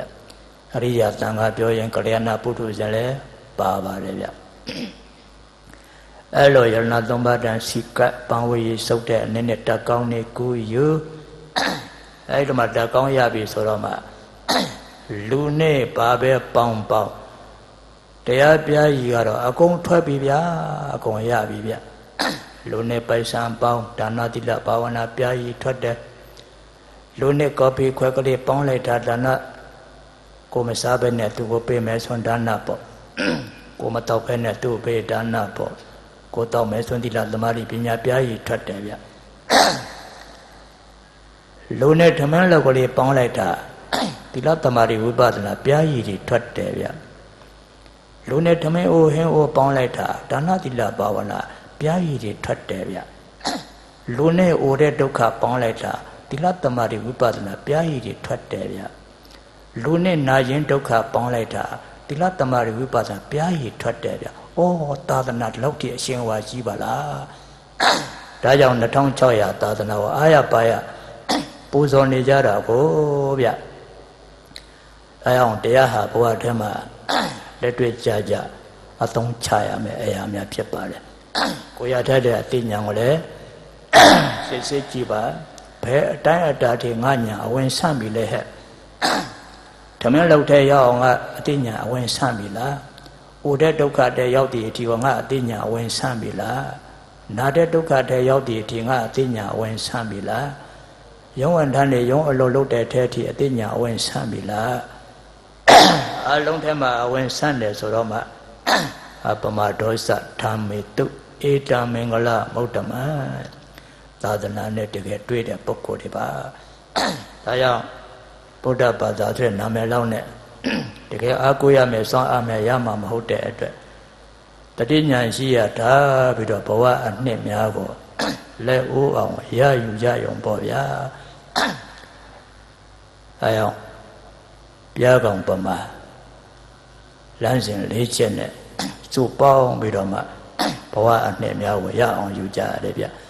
လမ်းစဉ်၄ချက်ခုန၄ချက်ပြီးတော့နောက်တစ်ခုကတိခံခြင်းတဏှာခြင်းဝမ်းမြောက်ခြင်းမေတ္တာထားခြင်းဒီ၄ချက်ပါတိခံကိုယ်လည်းပုထုဇဉ်သူလည်းပုထုဇဉ် ကိုယ်မှလည်းသူမကြိုက်တာအများကြီးရှိမယ်သူမှလည်းကိုယ်မကြိုက်တာအများကြီးရှိမယ်ပုထုဇဉ်ဆိုတော့သဘောထားကြည့်ရင်တိခံပါခွန်လောက်ပါဒါဆိုအများနဲ့ပေါင်းလို့ရသွားပြီတဏှာကိုချင်းစားပြီးတော့တဏှာပါကျင်နာပါဝမ်းမြောက်ညာသူကြီးပွားတိုးတက်နေရင်ကိုကကြီးမြောက်လို့ကြီးပွားတာပဲဖြစ်ဖြစ်သူအစွမ်းနဲ့ကြီးပွားတာပဲဖြစ်ဖြစ်လှိုက်လှိုက်လဲလဲဝမ်းသာပါမေတ္တာ သူချမ်းသာအောင်ကိုစွမ်းနိုင်တဲ့နေကကိုနဲ့တန်နဲ့ကိုနဲ့နှုံးနဲ့တန်နဲ့နှုံးနဲ့အနှိမ့်ဆုံးအနှိမ့်ဆုံးအ ਨੇ ဆုံးအတိညာနဲ့စိတ်နဲ့လွန်ချုံပြီးတော့ပေးရန်ကင်းလို့ကျမ်းမာချမ်းသာကြပါစေလို့လွန်ချုံမေတ္တာလွန်ချုံပေးပါအဲလိုနေသွားကြရလူလောကအပြန်ပြန်လန်းလန်းပေါ့ဗျာခုနတတန်တရားလုံးဟာဆွေမျိုးမတော်ဘူးသူလည်းတယောက်မှမရှိတော့တဲ့အတွက်တွေ့တဲ့အတူအကောင်လုံးဒီဆွေမျိုးတွေကြီးပဲလို့စိတ်ထားပြီးတော့ထားလိုက်ရင် ကုသိုလ်အစစ်နံပါတ်1ကတော့နေတိုင်းနေတိုင်းရကြတော့မှသိကြပါတယ်ဗျရဖို့ကလည်းအရေးကြီးဆုံးဖြစ်ပါတယ်ဗျလူရဲ့အတရင်အမျက်ကလည်းဒါပဲဗျဒီလိုသာသနာနောက်ထပ်အတွေ့ဖို့မလွယ်ဘူးဗျခက်ခဲမယ်ဗျဘဝတသိန်းကြာလို့ဒီလိုသာသနာတစ်ခါမတွေ့ပါဘူးဗျကဘာတသိန်းလောက်ကြာလို့တောင်းမှဒီလိုသာသနာတစ်ခါမတွေ့ပါဘူးဗျလောကတဲ့သာသနာပေါ်လာတော့လေလူတသိန်းတယောက်လက်ခံလန်းစွာမရှိပါဘူးဗျ တကယ်တော့သာသနာနဲ့တန်တဲ့လူကလူနည်းစုပါဗျယရဏနဲ့တန်တဲ့လူကလည်းလူနည်းစုပါဗျဒီလိုသာသနာမျိုးထပ်တွေ့ဖို့တော်တော်ခက်ခဲလိမ့်မယ်ဗျသာသနာမရှိတဲ့ကနိဗ္ဗာန်သွားတဲ့လမ်းကြောင်းပျောက်နေပါတယ်ဗျဒါကြောင့်နိဗ္ဗာန်ရှိမှန်တည်တုံးလေးနိဗ္ဗာန်သွားတဲ့လမ်းရှိမှန်လေးတည်တုံးလေးအပမဒလမ်းစဉ်နဲ့နိဗ္ဗာန်တည်ဦးတည်ပြီးတော့မှဖြောင်းဖြောင်းဘဝအနေများ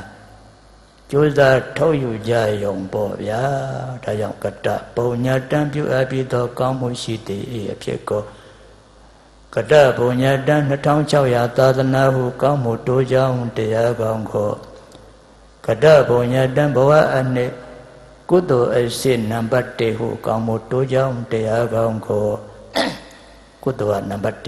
1အေရထလာရင်ဟဲ့ကုသိုလ်နံပါတ်1ကုသိုလ်နံပါတ်1 ဒါဆိုရင်နံပါတ်1နေရာသွားအိမ်ထဲမှာကျောင်းထဲမှာနံပါတ်1နေရာကဘုရားရှိတဲ့နေရာဘုရားရှိတဲ့နေရာဖြစ်အောင်သွားတတော်တင်ကြဘုရားဒီညနေပေါ်အောင်ဖောရေကပံကစတဲ့ဒါနဖြစ်အောင်လုပ်တရဏတရဏဂုံတိလဆောက်တီသမာဓိအလုပ်ဖြစ်အောင်လုပ်ဝိပဿနာသိရဖောဘုရားရှိရရတဲ့တက်ကောင်းလေးတတိကျိုးလေးနဲ့ဆက်သွယ်ညံတက်ကလေးကိုအိမ်အလုပ်တွေအားလုံးလောက်နေပါကုသိုလ်ပေါင်းထဲကိုဝင်ရောက်လာမှာကတော့တော်တော်များပါတယ်ဗျာ အေယဝန်ကာနီကုသိုလ်ဆုံးမဆုံးစစ်ဆုံးနေဆုံးမအေးမဆုံးရင်ပြန်ပြီးအခါအားဖြင့်လည်းကုသိုလ်ကိုနံပါတ်1မြတ်ထားပါနေရာအားဖြင့်လည်းကုသိုလ်ကိုနံပါတ်1အမြဲထားပါအင်းအောက်ထပ်ကနေအပေါ်ထပ်ရောက်တော့ဟေးအပေါ်ထပ်ဟာကုသိုလ်နံပါတ်1ကုသိုလ်နံပါတ်1အပေါ်ထပ်ကအောက်ထပ်ဆင်းတော့လဲကုသိုလ်နံပါတ်1ကုသိုလ်နံပါတ်1 ယုံသွားတယ်ယုံတဲ့ရောက်တော့လေဟေးယုံဆိုတာကုသိုလ်နံပါတ်1ကုသိုလ်နံပါတ်1ဈေးအောင်မလို့ဆိုင်တဲ့ရောက်တော့ဆိုင်ဆိုတာကုသိုလ်နံပါတ်1ကုသိုလ်နံပါတ်1ပါစကားပေါ်ရောက်တော့လေဟေးပါစကားဟာကုသိုလ်နံပါတ်1ကုသိုလ်နံပါတ်1အခါအားဖြင့်လည်းကုသိုလ်နံပါတ်1ထားနေရာအားဖြင့်လည်းကုသိုလ်နံပါတ်1ထားအလုတ်အားဖြင့်လည်းကုသိုလ်နံပါတ်1ထားခုနတတိရှိရင်ထားလို့ရတယ်ပုဂ္ဂိုလ်အားဖြင့်လည်းကုသိုလ်နံပါတ်1ထား တာအဖဆုံးတော့တာကလည်းအာအဖေနဲ့တွေ့ရင်ကုသိုလ်နံပါတ်1အဖေကလည်းသားနဲ့တွေ့တော့ဟေးကုသိုလ်နံပါတ်1ဆရာတပည့်နှစ်ယောက်တွေ့တယ်ဆရာကလည်းဟေးတပည့်နဲ့တွေ့ရင်ကုသိုလ်နံပါတ်1တပည့်ကလည်းဆရာနဲ့တွေ့ရင်ကုသိုလ်နံပါတ်1အဲ့လိုစသဖြင့်ပေါ့လမ်းမှာခွေးဟောင်းနဲ့လမ်းသွားရင်လည်းခွေးဟောင်းနဲ့ဟေးခွေးနဲ့တွေ့ရင်ကုသိုလ်နံပါတ်1ကုသိုလ်နံပါတ်1ပို့လိုက်မိတာပို့လိုက်အဲ့လိုစသဖြင့်ပေါ့ ဒါအယောကတပုံညာတံကုသိုလ်အစစ်နံပါတ်1ဟုကောင်းမှုတိုးကြောင်းတရားကောင်းကိုပန္တိတဖရာအစရှိပုံသောပညာရှိ သူတော်ကောင်းတို့သည်ပဇံတန်တိမေတ္တာနှလုံးအလားဆုံးဖြင့်ရှင်ပြုံးကြည်သာကောင်းစွာမသွေချီးမွမ်းတော်မူကြလေကုန်တည်း